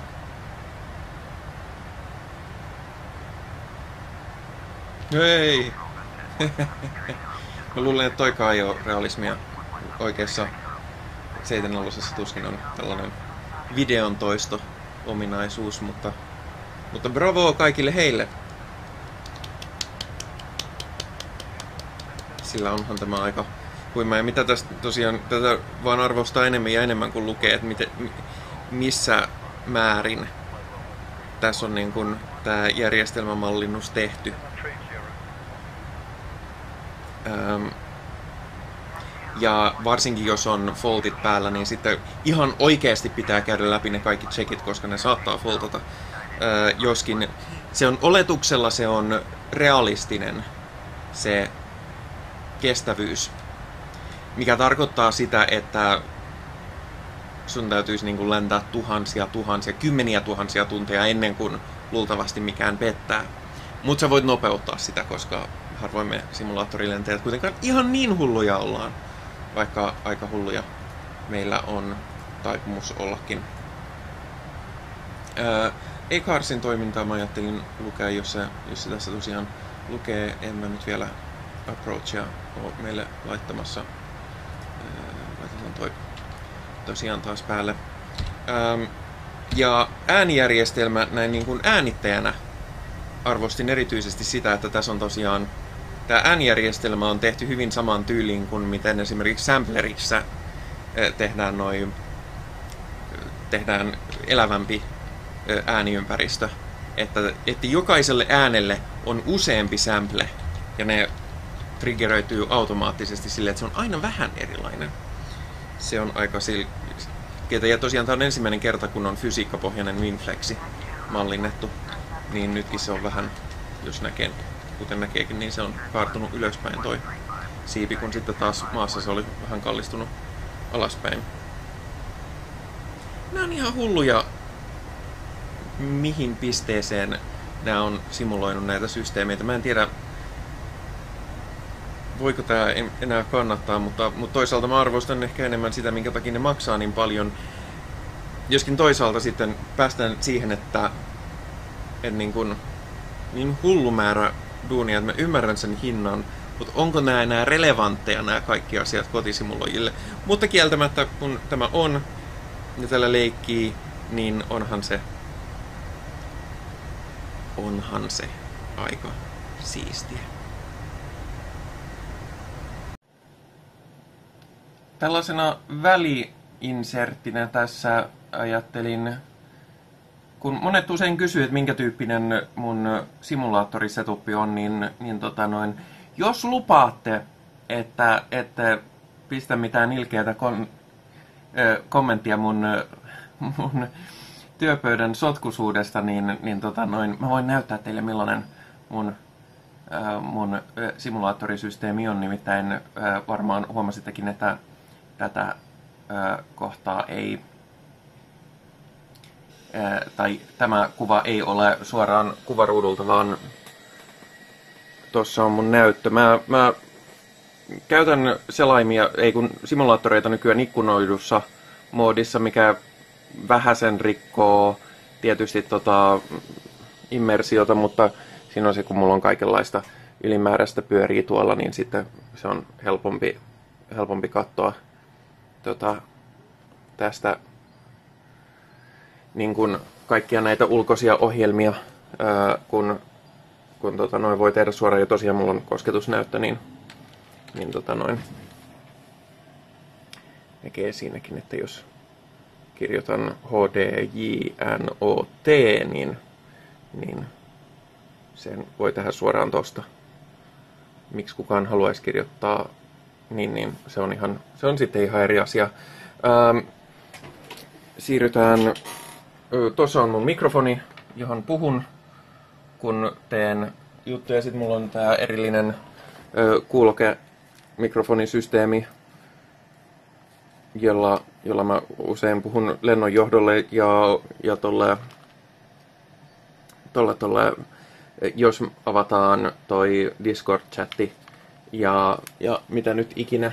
Ja Assemblyllä mä käytän sitä. Tuossa on myöskin mun tablettiläppäri. Se normaalisti itse asiassa streamien aikana se näyttää YouTube-chatin ja tilastot, mutta, mutta nyt mulla on, koska, koska tota noin, ei oo, mä en tee striimiä, niin, niin okei, mä en näytäkään teille mun, mun tota, kattokaa, kattokaa vähän aikaa tota ää, tota, mikrofonia taas, kun mä unlokkaan ton, niin tällä kertaa siinä näkyy nämä tota, mun checklistat ja operointimanuaalit ja toki myös Simbrief, koska Simbrief pitää olla. Tuossa on kaasuvipu, siinä on kahvikuppi, hyvin tärkeä kaasuvipu mm, on, siinä, siinä on joystick, nämä on, monet usein kysyy, Hotas nelonen toimii mainiosti. Ei ole force feedbackia, mutta Airbusseissa ei ole. Ja Airbus, pitää olla tuolla itse asiassa mun, mun tota noin Raspberry Pi, joka on aina päällä. Mä saan sen näkyviin, jos mä vaan vaihdan, vaihdan tota noin näytön inputtia. Niin, niin sieltä ilmestyy. Se on, koko, se on koko ajan päällä, mutta en mä itse asiassa ole käyttänyt sitä ihan hirveästi. Mikä toisaalta on ollut harmia. Nyt näette vähän minua, vaikka mun ei pitänyt esiintyä tänään videossa. Mutta nyt ette näe enää minua niin paljon. Ää, tossa on tota, mun autopilottipaneeli. Ää, ne toimii eri tällaisten edistyneiden mallinnusten kanssa vähän eri tavalla. Tässä mallinnuksessa se ei näytä näitä lukuja, mutta kaikki nämä napit toimii, mikä on fine. Joissakin näkyy sekä luvut ja jossakin taas näkyy luvut, mutta ei toimi napit. Kaiken paras on se, että napit toimii. Ja sen päällä tosiaan on, on kuulopistooli. Ei ole oikea, on kuulopistooli. Ihan vaan sen takia, että on niin painava, tai siis kevyttää tämä paneeli, että, että muuten se tahtoo kaatua, jos siinä jotain painoa päälle. Ja mä huomasin, että toi, toi toimii oikein hyvin painona ja siinä on kaiuttimet. Mutta tota, semmonen on mun, mun simulaattori setupi, kun sitä niin monet on kyselleet, että millainen se on, niin sellainen se oli. Minä jatkan iloista kruisailua pitkin pohjoisenkkien taivaita. Ollaan noin kaksi kolmasosaa menty matkaa. Kellossa näyttää olevan... Okei, mä laitoin sen muutaman minuutin myöhässä käyntiin, mutta about kaksi ja puoli tuntia mennyt. On vielä matkaa jäljellä, mutta tota noin, mä laitan silti meille ton, ton, ton ää, approachin jo nyt, tai siis ää, Arrivalin, koska se antaa meille, meiltä ei tällä hetkellä ole minkäänlaista top of descentia järjestelmässä. Ja se on aina hyvä vähän tietää, että mikä se top of descent on. Vaikka se sitten muuttuiskin se Arrival, niin se nyt ei ole vaarallista. Joten katsotaan, mitä, mitä tota, ne on suunnitellut meille. Se olisi Jeska Kutonen ja siihen jo ja approachiin ILS 07 right transition Ted Ted Stevensille, kyllä ne varmaan nyt ilahtuvat siellä. Eli 07 right. Jeska 6 ja Transition Jo. Ja Ted. Ja Execute. Ja se on aina hyvä tietää, tai hyvä, että vaikka se muuttuukin tuosta kenties, niin tota, se antoi meille tälle puolelle tietoa meidän Descentistä. Ää, näyttääkö tämä meidän... Näyttääkö tämä samalla tavalla Top of Descentia kuin Airbus? En mä edes muista. Yritän nyt muistaa näistä Boeingin jutuista. Boeing. Ää, katsotaan, missä meillä on. Onks meillä jossain Top of Descent? No Johin jälkeen se on. Se ei näköjään näytä Top of Descentia tommosena, tommosena tota, tommosena öö, hässäkkänä. Tai siis ei, se ei tota noin tuollaisena hässäkkänä. Tosi hyvää kommunikaatiota, loistavaa, älä ota missään nimessä uudestaan. Öö, se on jossain tuossa välissä, mutta se ei, se ei näy täällä, mutta kun katsoo, niin tonne se on ilmestynyt ihan pikkusena. Se häämöttää jo tuolla 640 nautical milein äh, jäljiltä. Mä tiedän, että tämä on varmaan monelle tosi tylsää, mutta mä ajattelin, että koska viime aikoina on tullut aika paljon, paljon tota, äh, uusia katsojia ja semmosia, jotka ei ole niin kauheasti, äh, kauheasti lentosimuloinut, niin mä ajattelin, että jos kun mä nyt kuitenkin, mä oon joskus aikoinaan jossain videoissa tehnytkin sen mutta laitetaan tähän vielä uudestaan. Käydään ihan nopeasti läpi, että mitä näistä näytöistä löytyy, mitä ne tarkoittaa ja mitä, jos sä itse lennät ää, lentosimulaattorilla, mutta oot vielä alkuvaiheessa, etkä ole ihan varma, että mitä sä haluaisit, haluaisit tota, tai mitä, mitä sun suunnilleen pitäisi nähdä, niin, niin käydään nämä sille nopeasti läpi, mitä mikäkin tarkoittaa, ja, ja jos tosiaan käy, niin kuin mullekin kävi aikoinaan, ja Discordissa on käyty keskusteluja, että on käynyt myös jollekin muulle, että minkä takia esimerkiksi matka Helsingistä Atlantin yli kestääkin niin kuin 12-13 tuntia, kun sen piti olla 9 tunnin reissu. Luultavasti syyt löytyy tästä näistä ruuduista. Ähm, tämä on Primary Flight Display. Tämä on tietysti Boeingin versio siitä. Boeing. Mutta ö, peruspalikat löytyy ihan samoista paikoista, samasta järjestyksestä, ö, koska nämä on usein ulkoisen valmistajan, niin mä luulen, että ne aika pitkälti käyttää samoja, ö, samoja valmistajia näissä ruuduissa oli sitten ö, valmistaja mikä tahansa, ja nämä on niin standardisoituja, että, että siinä on ylhäällä vihreällä näkyy autopilottimoodit. Meillä on siis speed-moodi, eli speed hold tällä hetkellä. Se kertoo, että meillä on valittu, valittu nopeus, joka tulee tässä tapauksessa, se tulee lentotietokoneelta. Se on 0,837 makkia. Minkä takia ylemmissä, tai kun mennään korkeammalle ja korkeimmille nopeuksille käytetään makkinumeroita eikä eikä tätä sen takia, että ilma ulkopuolella on niin ohutta, että tähän näyttää kauhean pientä lukumäärää. Se näyttää kahta kuutta yhtä kuin meidän todellinen ilmanopeus on 483.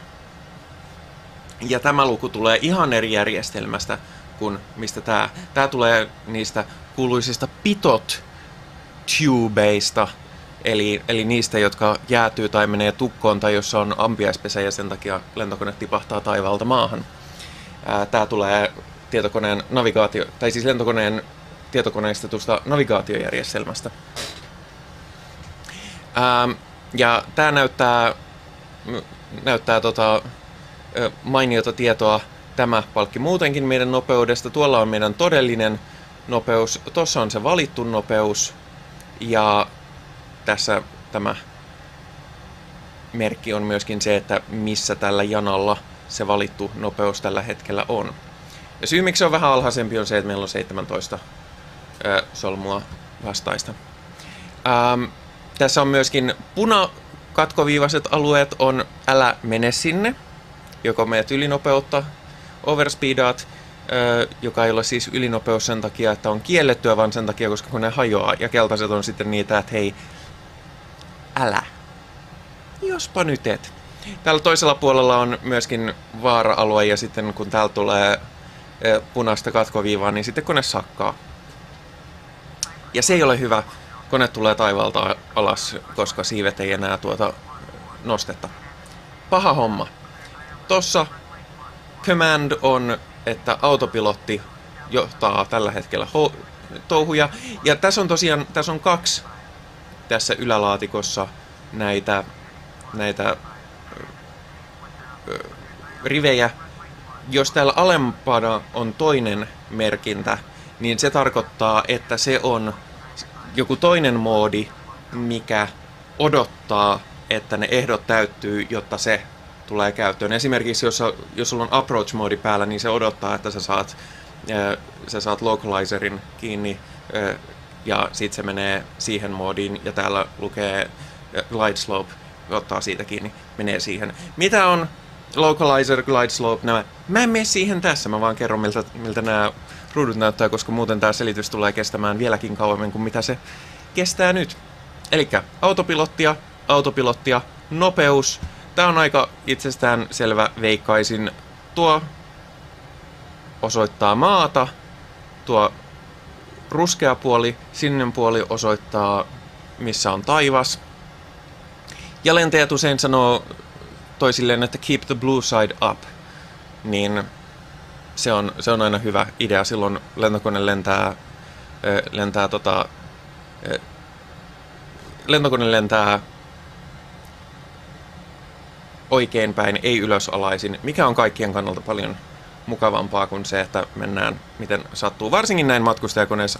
Aerobaattiset ja hävittäjäkoneet asia erikseen, mutta siinä se menee. Ja kuten huomaatte, niin me ei olla täysin vaakatasossa, kun meidän korkeus ei liiku mihinkään. Se on täysin normaalia. Jotkut koneet, esimerkiksi L 1011 eli TriStar oli oikein tunnettu siitä, että sillä oli erityisen voimakas se, se tota, noin kulma, millä se cruisaili. Se vaan johtuu siitä, miten se moottorien voima ö, osoitetaan niin, että meillä pysyy sekä korkeus että nopeus valittun olosena. Jos me mentäisiin suoraan ton horisontin mukaan, niin meidän nopeus nousisi, mutta meidän, meidän toi ö, korkeus tippuisi. Se on huono pidemmän päälle.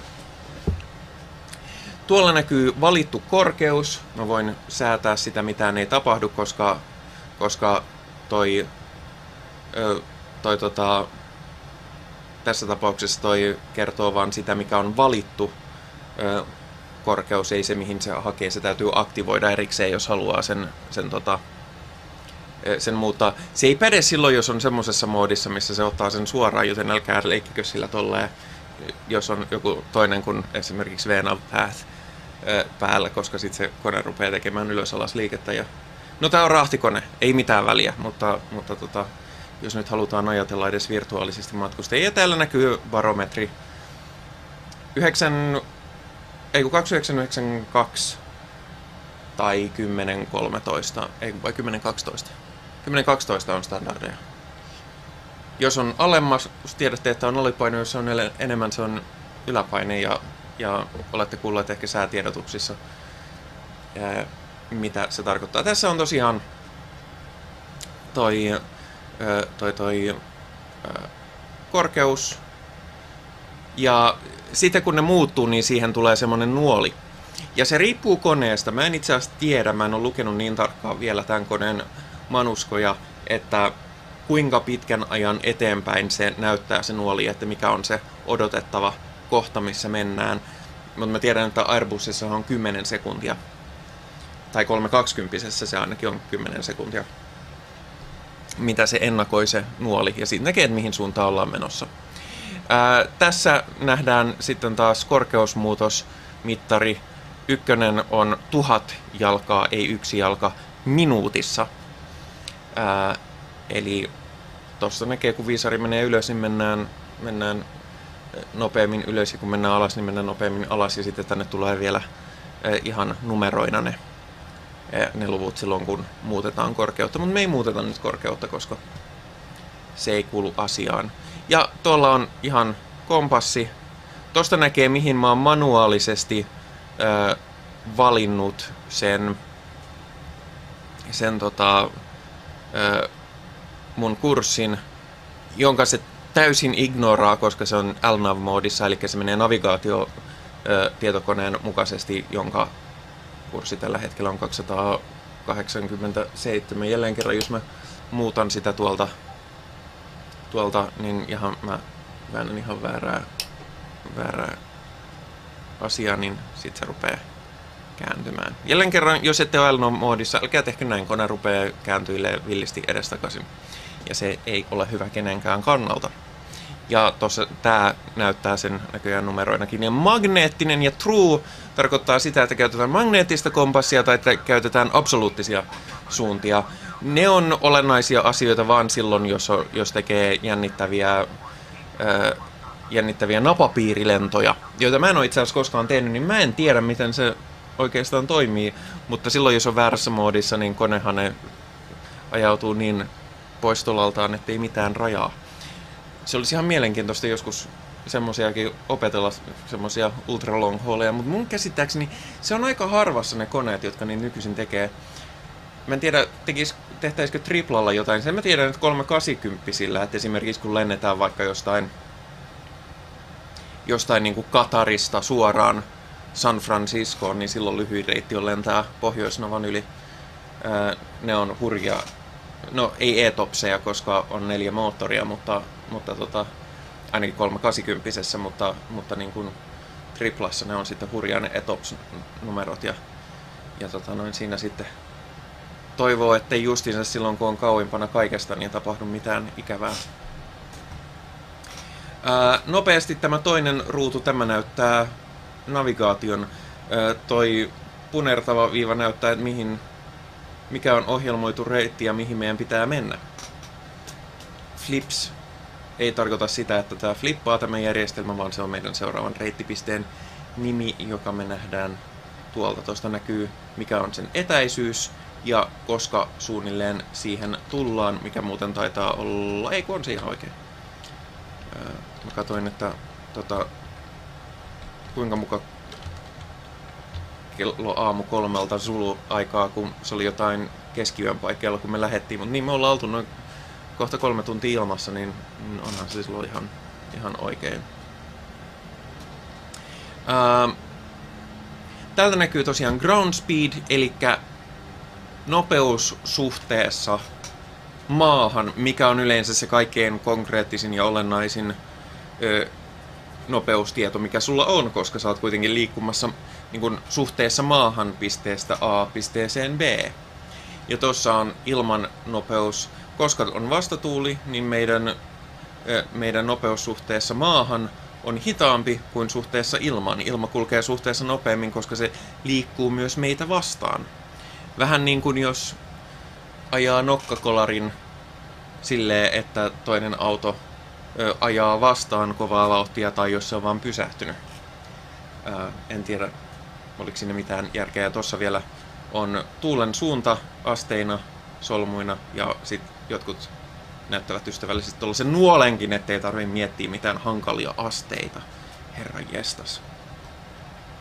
Öö, tässä näkyy sitten käytännössä se, minkä sä olet määrittänyt siinä näkymään. Mulla tuossa näky, näkyykin, että se näyttää lentokentät ja se näyttää sään ja turbulenssiennustuksen, joskaan ne ei näytä yhtään mitään, koska se vaatii Active että ne toimii tässä koneessa. Ja Traffic, eli se näyttää ympäröivän liikenteen, jota itse asiassa tällä hetkellä ei ole, vaikka, vaikka se pitkin ö, matkaa onkin ollut. Ö, me ollaan täällä nyt niin kun, aletaan olla Alaskan näillä ö, vähän syrjäisemmillä seuduilla, niin sen takia, täällä ei niin kauheasti ole liikennettä on varmaan oikeassakaan elämässä niin, niin paljon kuin sitten kun mennään tonne suuriin asuin, asutuskeskuksiin. Ja me ollaan menossa suunnilleen tonne. Me lähettiin jostain tuolta, että tosiaan ihan hyvää ää, mat- hyvin ollaan matkaa edistytty.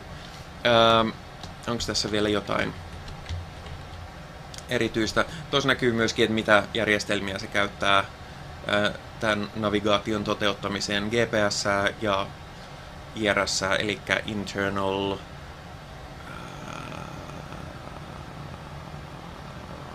Reference System. Ne on käytännössä öö, noita... Miksi niitä sanotaan? En mä muista. Mä, mä tiedän kyllä, miten se toimii, mutta mulla hävisi kaikki sanat, joten, joten tota, tai tiedän niin kuin, miten teoriassa se toimii, eihän mulla niin kuin, oikeasti olisi paskaakaan hajua, miten se mukamas toimii. Ää, niin tässä suunnilleen, eli jos et ole kauheasti lentänytkin. Tässä oli jotain merkintöjä, jotka et tiennyt, niin tässä hyvin lyhyesti, nopeasti ja yksinkertaisesti. Ja tosiaan nämä sitten eroaa vähän lentokoneesta lentokoneeseen, mutta yleensä niissä on suunnilleen samat asiat suunnilleen samoilla paikoilla, tarkoittain suunnilleen samoja asioita. Ää, joku, joku asia mulla oli vielä tähän liittyen, minkä mä ajattelin niin, tosiaan. Ää, jos ihmettelette, minkä takia lento menee hitaasti, niin... Antaa ton puhua loppuun nyt sitten. Ää, niin se usein johtuu siitä, että lennät liian matalalla. Ää, käytännössä reittikoneet ei kulje ää, lyhyitä matkoja se harvemmin kulkee alle 300, tai flight level 300, eli 30 000 jalan. Eli jos sitten propellikone, silloin asia on eri, mutta kuitenkin niin kuin 35-41 riippuen konemallista niin usein mennään. Ja tosiaan makkiluvut on piste 7, piste 8 alkuisia. Jos ne on piste 7 alkuisia, niin ne on tyyliin piste 7, 8 tai 7, 7, ehkä 7, 6. Puhun nyt tosiaan ää, niin kuin, ää, liikennejettikoneista. Propellikoneet, niissä ne menee matalammalla ja hitaammin. Mutta se, mikä usein huomaa, kun kyselee, että miten, miten sulla kestää noin kauan, niin se johtuu ihan yksinkertaisesti siitä, että lennetään liian matalalla liian hitaasti. ää, Ja toi ground speed on se, mitä kannattaa katsoa.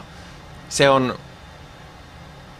sen pitäisi olla jossain tuolla 450 paremmalla puolella ja sitten jos menee tosi hyvin ja toivottavasti menee, niin sitten se nousee sinne jonnekin ää, 500 päälle. Mä oon joskus jopa lentänyt 550, mikä on ihan huima, huimaavan hyvää vauhtia ja sehän on aina mukavaa, jos on huimaavan hyvää vauhtia. Mä keskeyty ajatuksen juostu, koska ihan kun mä kun, ku, kuuntelin nyt ihan niin kuin tulisi jostain palannut ja toivottavasti se ei ole mun tietokone. Jos tää oli mun viimeinen video pitkään pitkään aikaan, niin tiedätte miksi, mutta mä veikkaan, että se tulee ulkoota, koska siellä tuli justiinsa semmonen pieni tuulevire. Mutta toivottavasti tästä oli jotain iloa. Jos ei ollut, niin ei voi auttaa. Mä tein sen jo ja te katoitte sen, joten, joten jos mä, jollei käynyt niin, että mä unohdin painaa rekordia, niin te, jos te kuulette tämän, niin te näitte sen.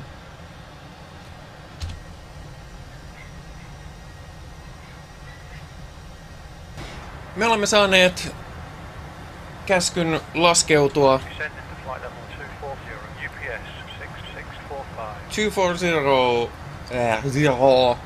240 on meidän käsketty flight level, mikä tarkoittaa, että me aloitamme descentin jo nyt. Descent on meidän aktiivinen, aktiivinen tota, öö, hetkinen, descent now, mä laitan sinne execute. Yes, me olemme descentissä. Öö, laitetaan tälle puolelle eri moodi. Meillä ei ole seatbelt signia.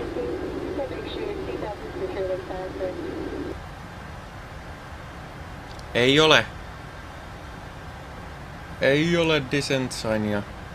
Ää, meidän alkuperäinen, ää, siis lentotietokoneen ää, Top of Descent oli tosi paljon myöhemmin, mutta se on ihan fine, koska tota, se mennään tietysti lennonjohdon ohjeiden mukaan. Uh, joten mennään. Descent procedure. Start the pre- descent procedure before the airplane descends below the cruise altitude for arrival at destination.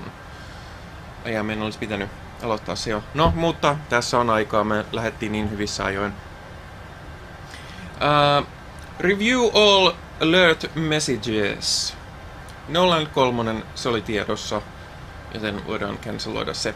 Verify VREF on the approach ref page. Elikkä me tehdään Flaps 30 lähestyminen. Tar- antaa meille uh, referenssinopeuden 144. Um, set radio slash baro minimums as needed for approach. Se on monimutkaisempi näissä tilanteissa, koska ne on usein firmojen itsensä antamia. Me ei voida katsoa tota, noita... Hetkinen, mikäs meidän... Minne me ollaankaan laskeutumassa? Mm, 07 right. Ö, 07 right. Me ei voida katsoa täältä, että, että tota noin, mitkä minimumsit nyt sattuisi olemaan.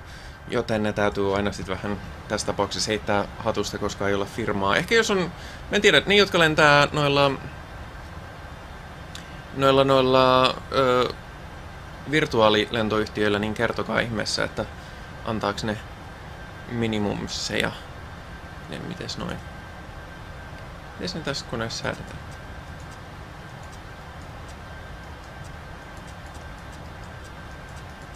Okei, en mä. Mä edes, en mä edes lähde siihen. Uh, set nav radio page for the approach.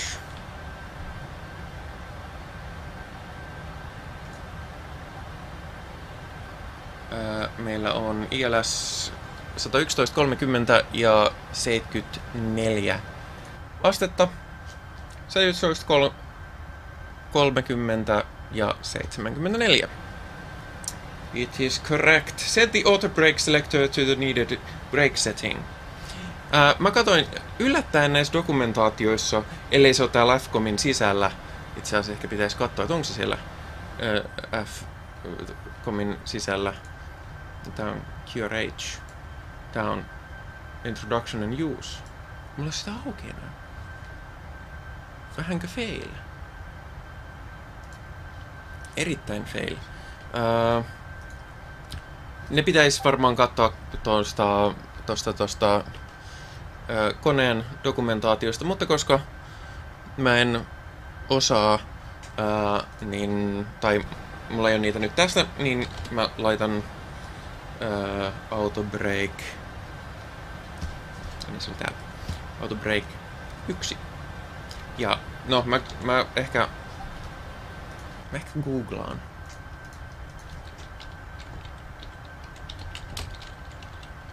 Sitten on referense.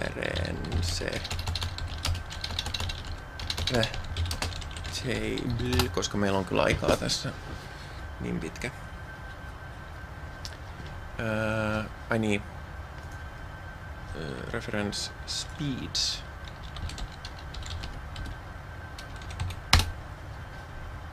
Na.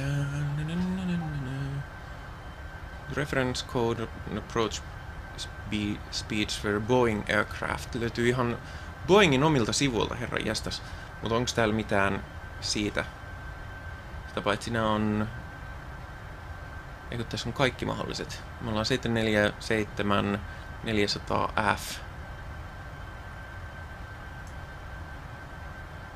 No, se ei ota mitään kantaa siihen. Sovitaan, että ykkönen riittää. Um,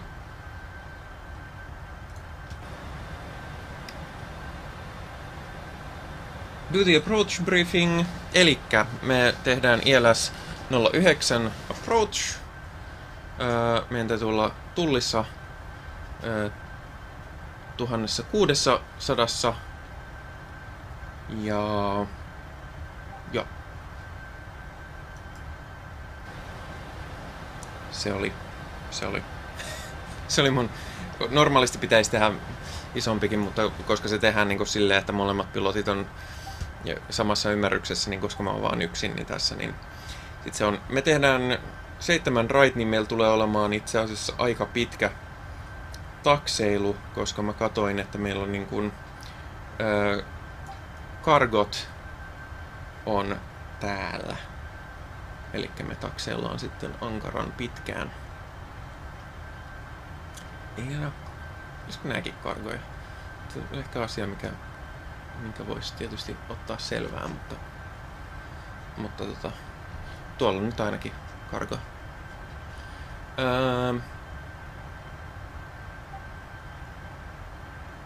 joo. UPS 6645, descend to flight level 240, cleared to transition JOH, expect Y, E, Jeska Kuutonen. Alpha 6, expect pilot, approach runway Eli ne 07, antoi justiinsa sen, minkä mä olin ohjelmoinut aikaisemminkin.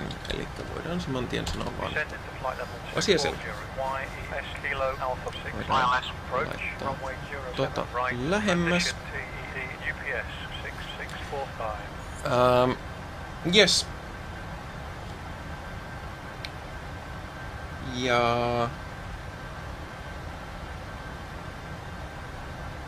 Call descent checklist. Taitaa olla nyt tossa. Ei oo.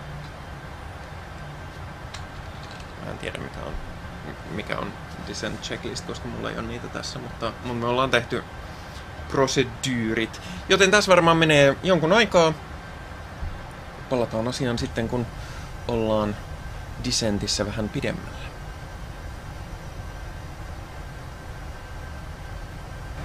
Kattelin tässä tätä meidän Arrivalia ja tuolla on taas hyvin mielenkiintoista kuviota piirretty meille. Mä mietin, mitä ihmettä. Mutta osa noista on niinku landingin jälkeen ja itse asiassa tämä Arrival loppuu holdiin, mitä on harvemmin nähnyt tässä, tässä näkyy, missä me ollaan kulkemassa. Se on Expect Radar Vectors to Final Approach Course After Ieska, mikä on jännä. Ja mehän kierretään kokonaan toiselle puolelle, niin, niin se aiheuttaa sitten omia, omia hässäköitään. Ja approachissa meillä sitten on meillä sitten justiinsa tullaan vähän mistä suunnasta satutaan tulemaan ja, ja tota, tullista. Ja sitten jos menee huti, niin sitten tosiaan tehdään tuollaisia kokkauksia ja mutkia, joten mielenkiintoinen approach.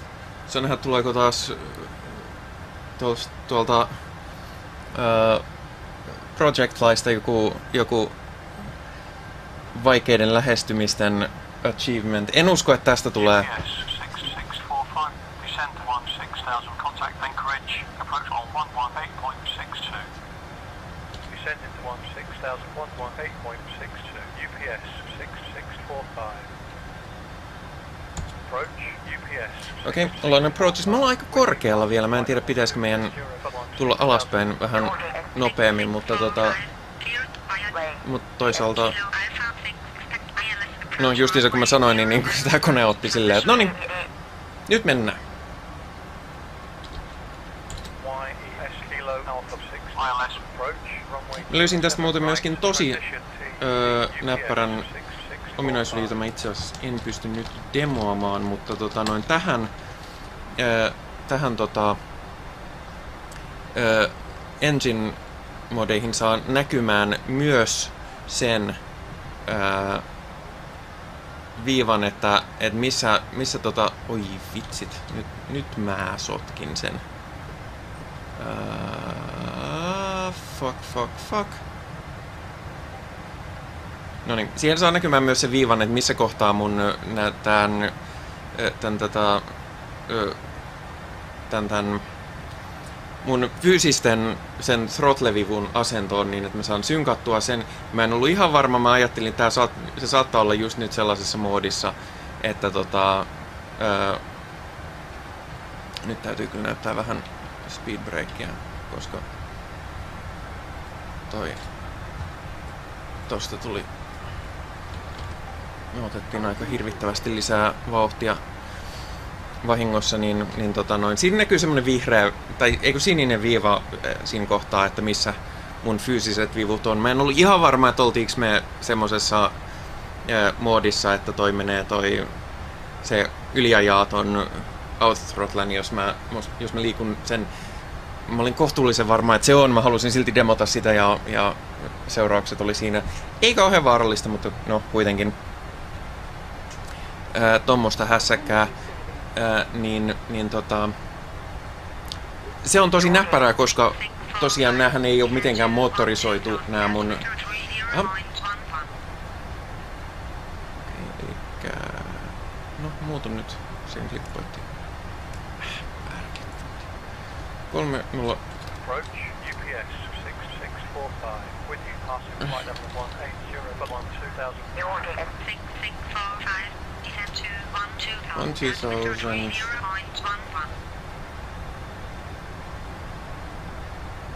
Descending to 12000, altimeter, tree 0.11. Mun mielestä se menee oikeaan moodiin suoraan, mutta aina on parempi vielä klikata tuohon sen päälle, että se on varmasti valittu toi pykälä. Ähm, ja nyt voidaan laittaa speedbreakki pois, koska ollaan hidastuttu ihan mallikkaasti. Ähm, joo. Äh, approach procedure. Äh, laitetaan at transition level. Me ollaan itse asiassa menty sen ohi. Mun barot on jo säädetty 3011. Check. Uh, at or above 10 000 feet MSL, the inboard landing light switches to on. Mä laitan niitä ihan vielä. Transition level set and cross-check altimeters, mä tein äsken update changes to the arrival and approach procedures as needed, AO, uh, update the RNP as needed, mulla ei tosiaan ole niitä, update the approach briefing as needed, ei ole, call approach checklist, onko se tuolla?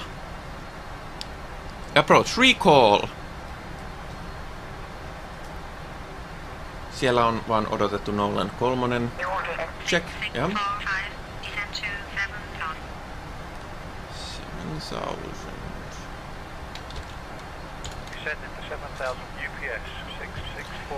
Uh, landing data. Uh, ei kun, Set. Altimeters set. Approach checklist complete. Uh, ja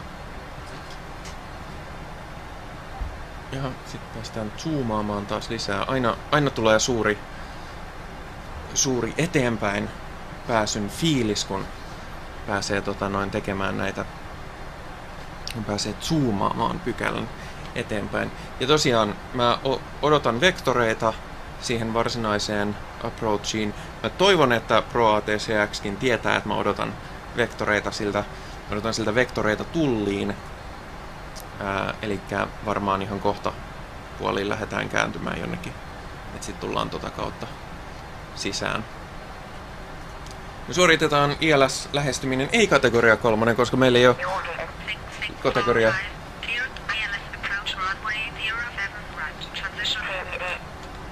Yes. ILS approach, runway 07, right, transition TED UPS Se 6645. meillä on, se meillä on ö, ohjelmoitu. Tuolla on TED, Tango Eco Delta.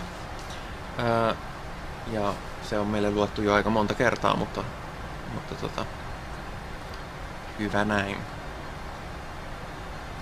Ää, sitten vaan odotellaan. Nyt aletaan lähetä, lähetä, äh, lähestyä 10 tonnia, joten laitetaan inboard landing valot, niin kuin sanotaan. Ja sitten meillä on flap extension schedule. Ja sitä mä en tiennyt, että 20 voi, voi skipata. Me hei. Vähäks näppärää. Ää, ja jos, jos tota, ollaan ihan järjettömän painavia, niin sitten tää vähän muut, muuttuu, mutta mun mielestä me ei olla yli 68 000 tonnia. Mistä sen näkee? Hmm. Hmm. Hmm.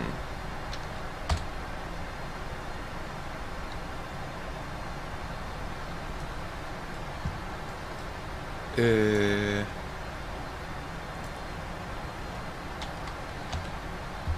Hmm. Kyllä se varmaan jostain näkee.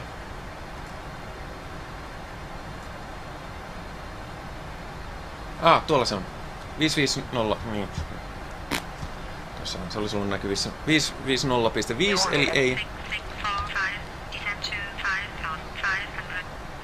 5500. No, näis nyt. Descending to 5500 UPS Ja klikataan se 6645. vielä. Check.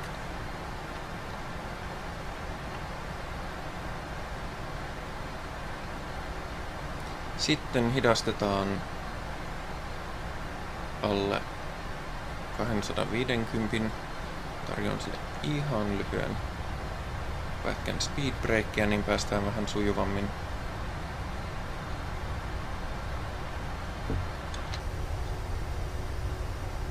Uu, mitkä meritekstuurit. Siis mä annan si-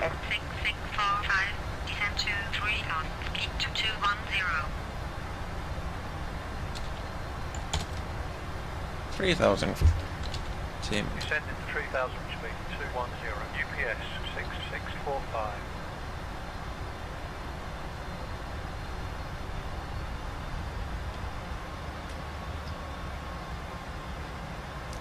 Flaps 1.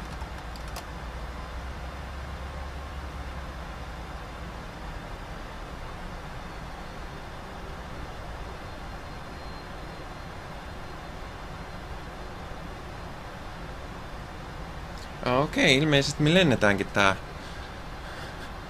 Me sittenkin lennetään tää tosi jännittävä kuvio ja tullaan sitä kautta tonne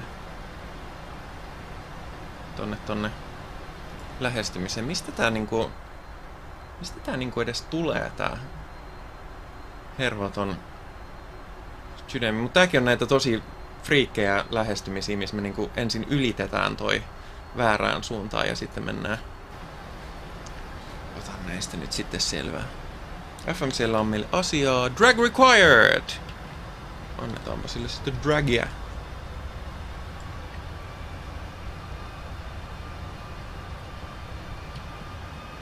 Ilmeisesti ei tarvita enää. Joten clearataan se viesti.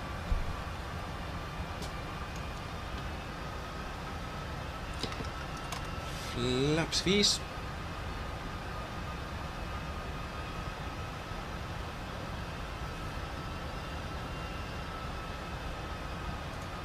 Eli nyt me ollaan menossa PP 006. Onks Elias sitten meidän seuraava vai? Joo, sitten on Elias Tulli. Alright.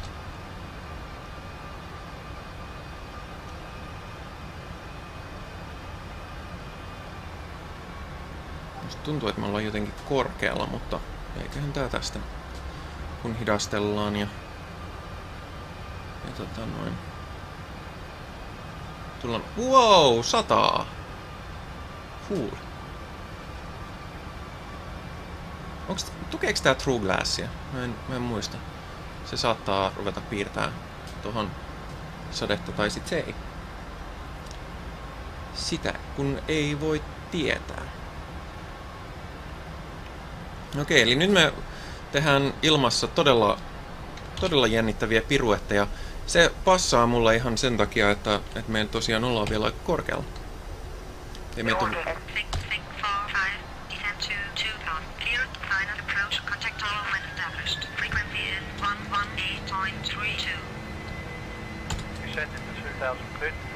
Okei, okay, minkä se nyt otti? Nyt se otti Eliaksen.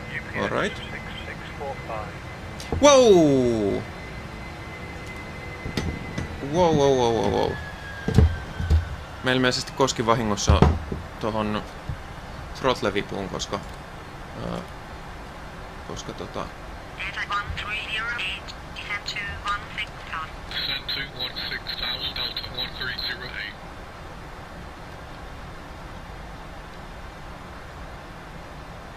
Mä en ymmärrä tätä approachia yhtään. Ää,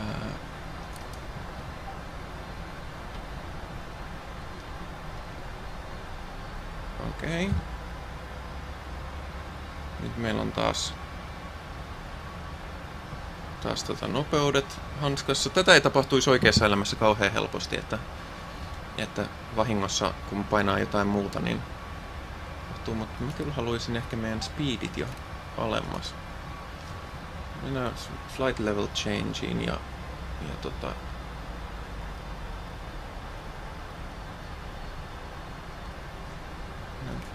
1600 ja ja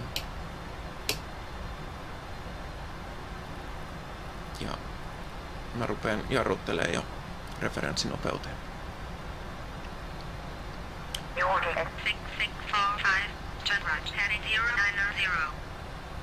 Uh, 090. Halutaanko me kääntyä semmoisen? Right turn heading 090, UPS 6645.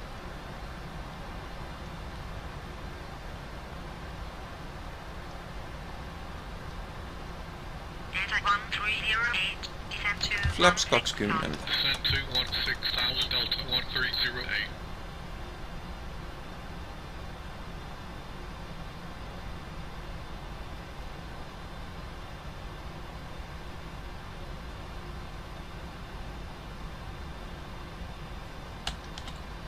Mä laitan meidät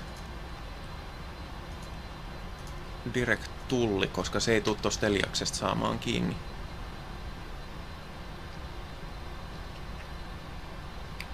Ja flaps 30, gear down.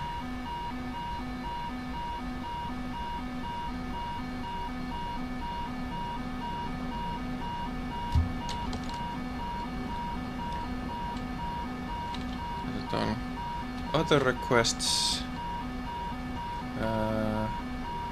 Aha, okei, okay, mä en voi suoraan pyytää vaan.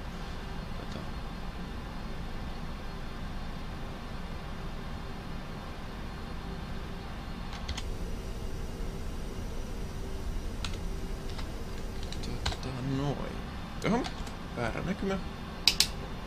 Laitetaan approach.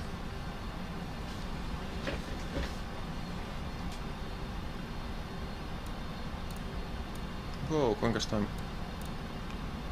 Toi muu... Toi heitti tota... Automaattisesti ton näkymän toiseksi.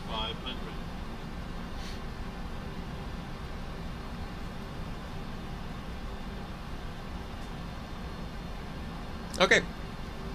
Um, landing procedure. Call flaps. Yo. Verify that ILS is tuned and identified. Itse asiassa Gear up. meillä ei oo tota... Miksi se sanoo gear up? Miksi meillä ei oo tota se identified?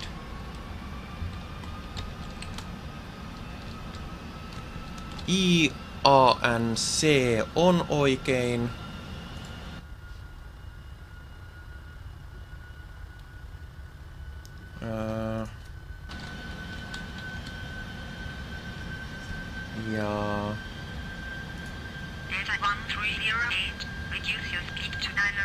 11.30 on oikein. Täytyykö mun ohjelmoida se tänne jonnekin? Muistaakseni tässä ei ole mitään tota navradiota, niin kun, jota ohjelmoitaisiin käsin ainakaan niin suoraan tässä.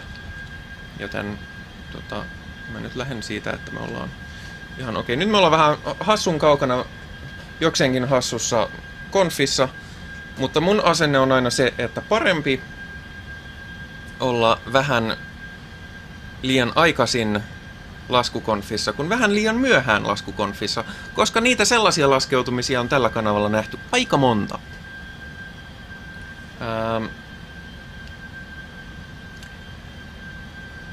Ja eiköhän se seurataan tota, että toi varmasti...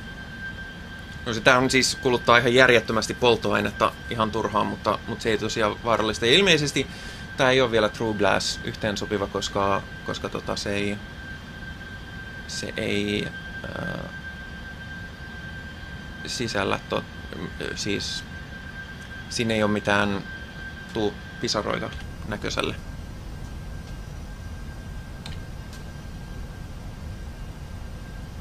Hypättiin vähän ajassa eteenpäin. Saatiin juuri Clear to Land Runway Final approach speed. Altimeter 30.1. Laitetaan loputkin valot 07 päälle. Right, UPS 6645.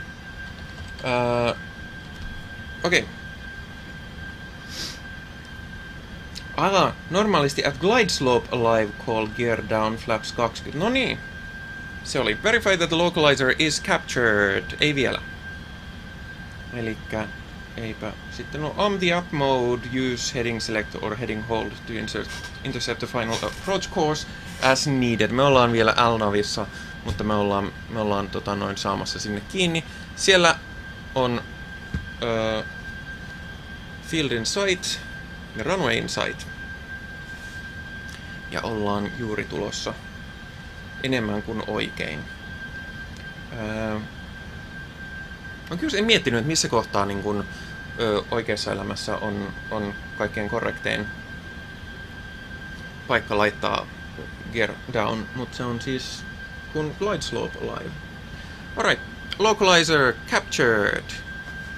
Tuolla näette muuttu, muuttu moodi. Ja sitten odotetaan glide slopea. Missed approach Ö, altitude on 600.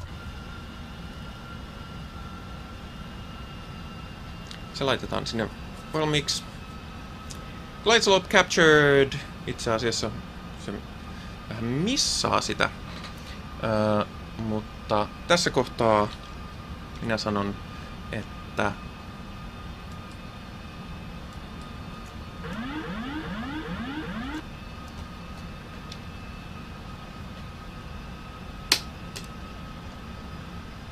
Autopilot off, autothrottle off. Delta 1308. Clear to land runway 06 right. Ja tullaan loput käsin. 0.11. Clear to land runway 06 right, altimeter 30.11, Delta 1308.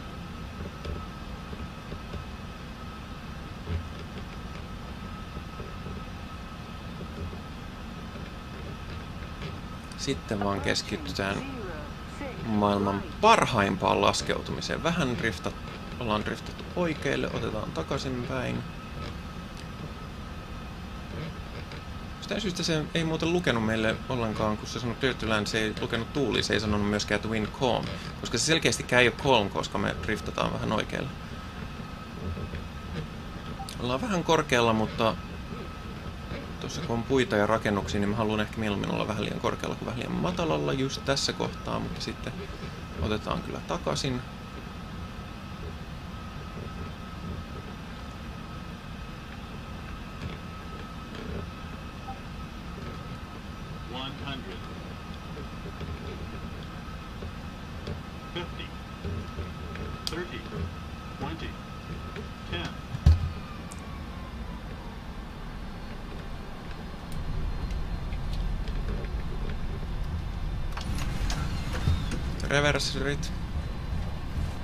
Tässä täällä sataa, mun olisi pitänyt varmaan laittaa enemmän, Contact ground on 12. enemmän noita, noita, noita. Enemmänkin tota, ö, autobreikkiä, mutta, mutta me, me- meillä todellakin riitti, ö, riitti tota, 101.902. Joo, UPS riitti tota- 6645. Mä katoinkin, että tässä on aikamoisen pitkä toi. Alright, elikkä. Se oli laskeutuminen. Se tuntuu olevan itse asiassa yksi mun parhaita laskeutumisia. En, en on... Katsotaan vielä mitä se sanoo tuolla ton... Ton ton... Ö, ö, landing ratein puolesta. Mutta mutta tota, mäpä ylitän tämänkin kiitoradan ennen kuin mennään seuraavaan. Sitten muuten tuli mieleen, että toivottavasti mä oikeasti, kyllä mä oikeasti tallennan tätä enkä striimaa, koska mä painoin aika monta kertaa väärin tuossa aikaisemmin, mutta joo, saatiin, saatiin mun ehkä yksi bravureita laskeutumisia talteen. Ja sitten pysäytetään tähän. Ja ruvetaan lukemaan öö, noita, noita tota, ihan niin näitä landing procedureita sitten onkin. Landing roll procedure, speed breaks ups ja bla bla bla bla bla. Mä muuten unohdin armata speed breakitkin, mutta se näköjään ei haitannut mitään sekään. Okay, after landing procedure, set APU selector start, then on. Done. Set flap lever to up. Set the transponder mode selector as needed. Uh, laitetaan stand by.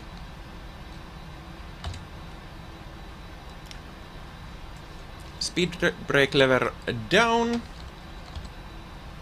Uh, ja set weather radar to off. Se nyt ei edes toimi meillä tässä, niin se on aika, aika teoreettista, mutta... Miten se laitetaan off? Se on auto, eikö se silloin ole niinku off? Öö, ah, ja sitten on enää shutdown procedure, joten alright. Sitten pyydetään takseilua. Ground Request UPS 6645. It's cleared off the runway. Request taxi for parking. UPS 6645. Taxi via Echo Delta to Terminal 1 to parking position 33.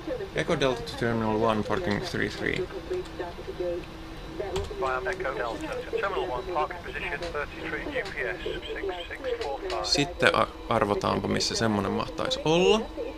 Ground 5254, request Ää, ei tuolla. 5054. Taxi via Echo Uniform. Parking Parking position 22. via Echo North Terminal. 22. Se ei oo siellä, koska siellä on vaan... Okei. Mä en, ei mitään hajua, missä semmonen voi olla. Pyydetäänpä... Uh, page... Parking 5. Next page, next page, next page. 33 viitonen. Ja request follow me. Hei hei! Tästähän kaikki tykkäs viimeksi. Hei, siellä on toinenkin. Kenes?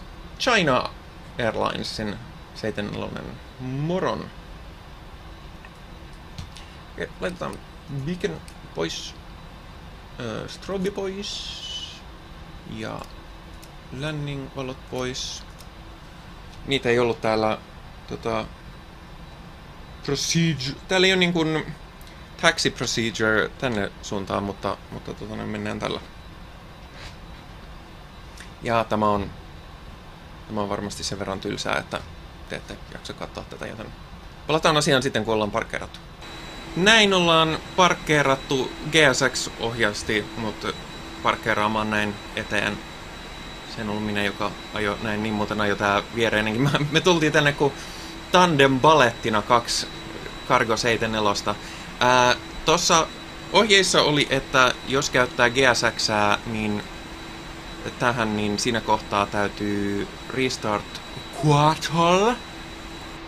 Ää, ja nyt näytetään hienoja, hienoja tota, ää, animaatioita. Mäpä itse asiassa päivitän presetin tähän kulmaan, niin se on helpompaa. Eli ää, shutdown procedure.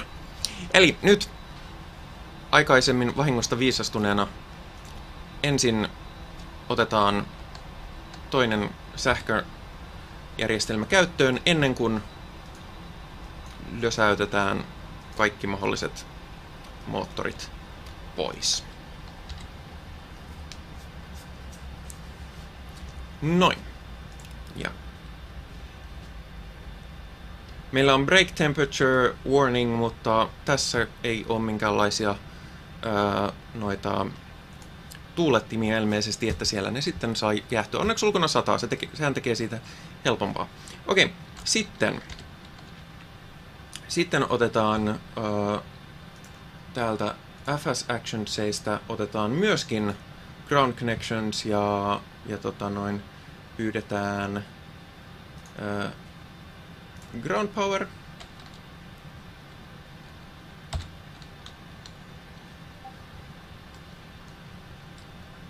Odotetaan, että se tulee.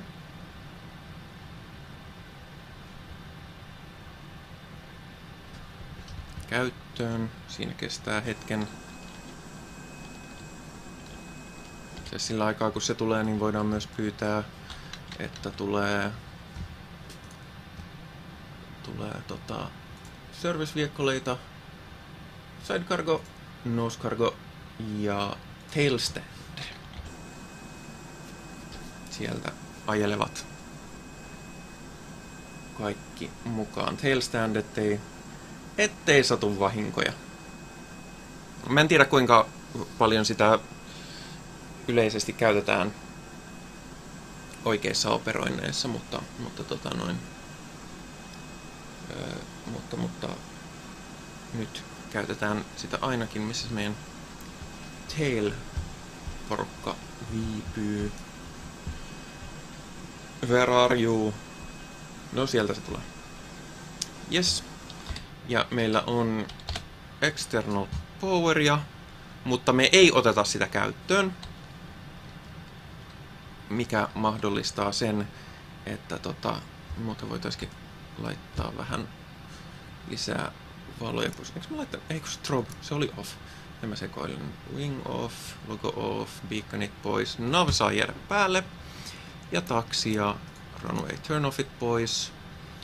Ää, ja fuel pumput. Ei kun, mitä mä nyt sooloilen, kun mennään, mennään kunnon operoinnein läpi. Meillä on tietysti kovin paljon varoituksia nyt, kun sammutettiin moottorit, mutta sitten pystynkö mä pitää ton ulkonäkymässäkin? En. Täytyy olla nopea, että... Eli sitten otetaan... Ää, Doors. Ja otetaan, että Nose Cargo ja Side Cargo Open. Ja mitään ei tapahdu. Okei. Jännä, koska meillä on kyllä nyt...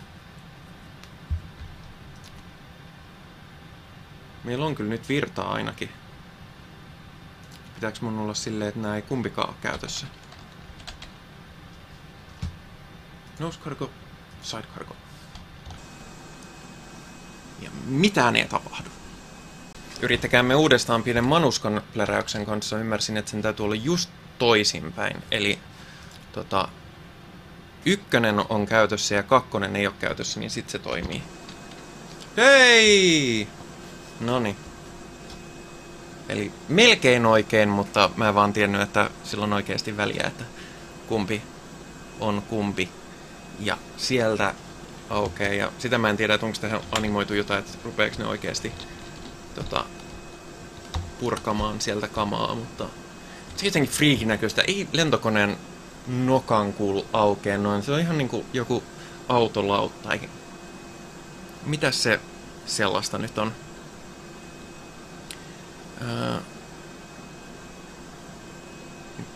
Katsotaanpa, kun on, on tota noin... Rupeeksi GSX-mäisesti vetää niitä sieltä ulos vai animoiko se vaan noita. Sitten sen jälkeen tehdään vielä shutdown procedure. Ja sitten tota noin, no sitten lopussa ehkä nähdään laskeutuminen. Nimittäin, sitä unohtukin sanoa, landing rate 87 fpm. Vähänkö siisti? Se taisi olla paras laskeutuminen, mitä mä oon ikinä tehnyt.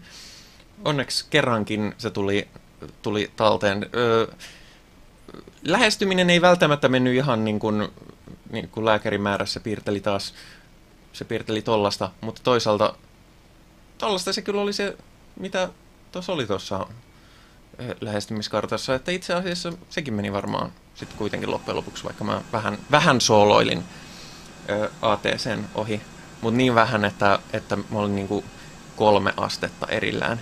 Ei se mitään, tota, mitään animoi purkamista, mutta, mutta on toikin ihan hauska. Okei, ja tietysti näkyy täälläkin, että noi, okei, noi nokan sisällä olevat tekstuurit on aika lame, mutta mennään nyt. Okei, okay, shut down a procedure. Uh, start the shutdown procedure after taxi is complete. Parking brake set. Verify that the parking brake message is uh, is hetkinen. Ei mulla ollutkaan. Parking brake set. Mulla oli choksit niin siksi mä ajattelin että ei. Verify that the APU generator 1 and APU generator 2 avail lights are illuminated. Kyllä näin APU generator 1 switch push no mä en nyt en en painelle niitä koska meillä on ihan tarkoituksella tää uh, Yes, electrical power establish, kyllä. Uh, joo, joo, joo. If part hydraulic pump 1, 2, 3 selectors off. Fuel control switches cut off, ne on. Uh, seatbelt selector off, okay, AO fuel pump switches off. Uh, nacelle and anti-eye switches off, beacon light switch off, uh, flight director switches off, yeah, off. Uh, status messages check, record shown status messages in maintenance log. Uh,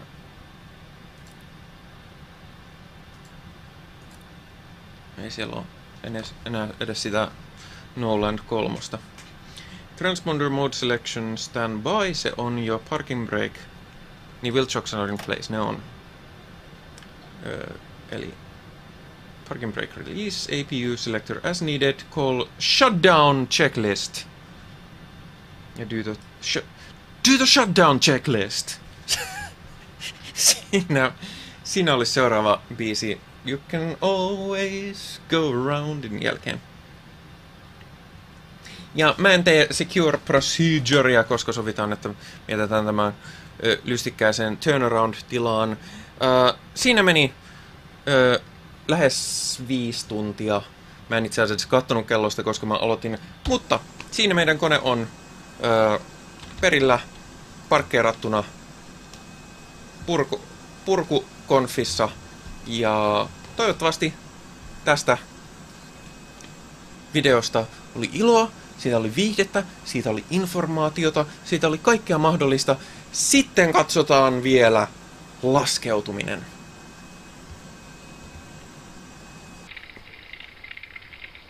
Ei se replay toiminut.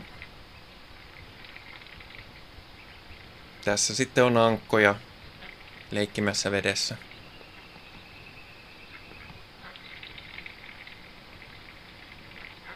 Nähdään ensi kerralla!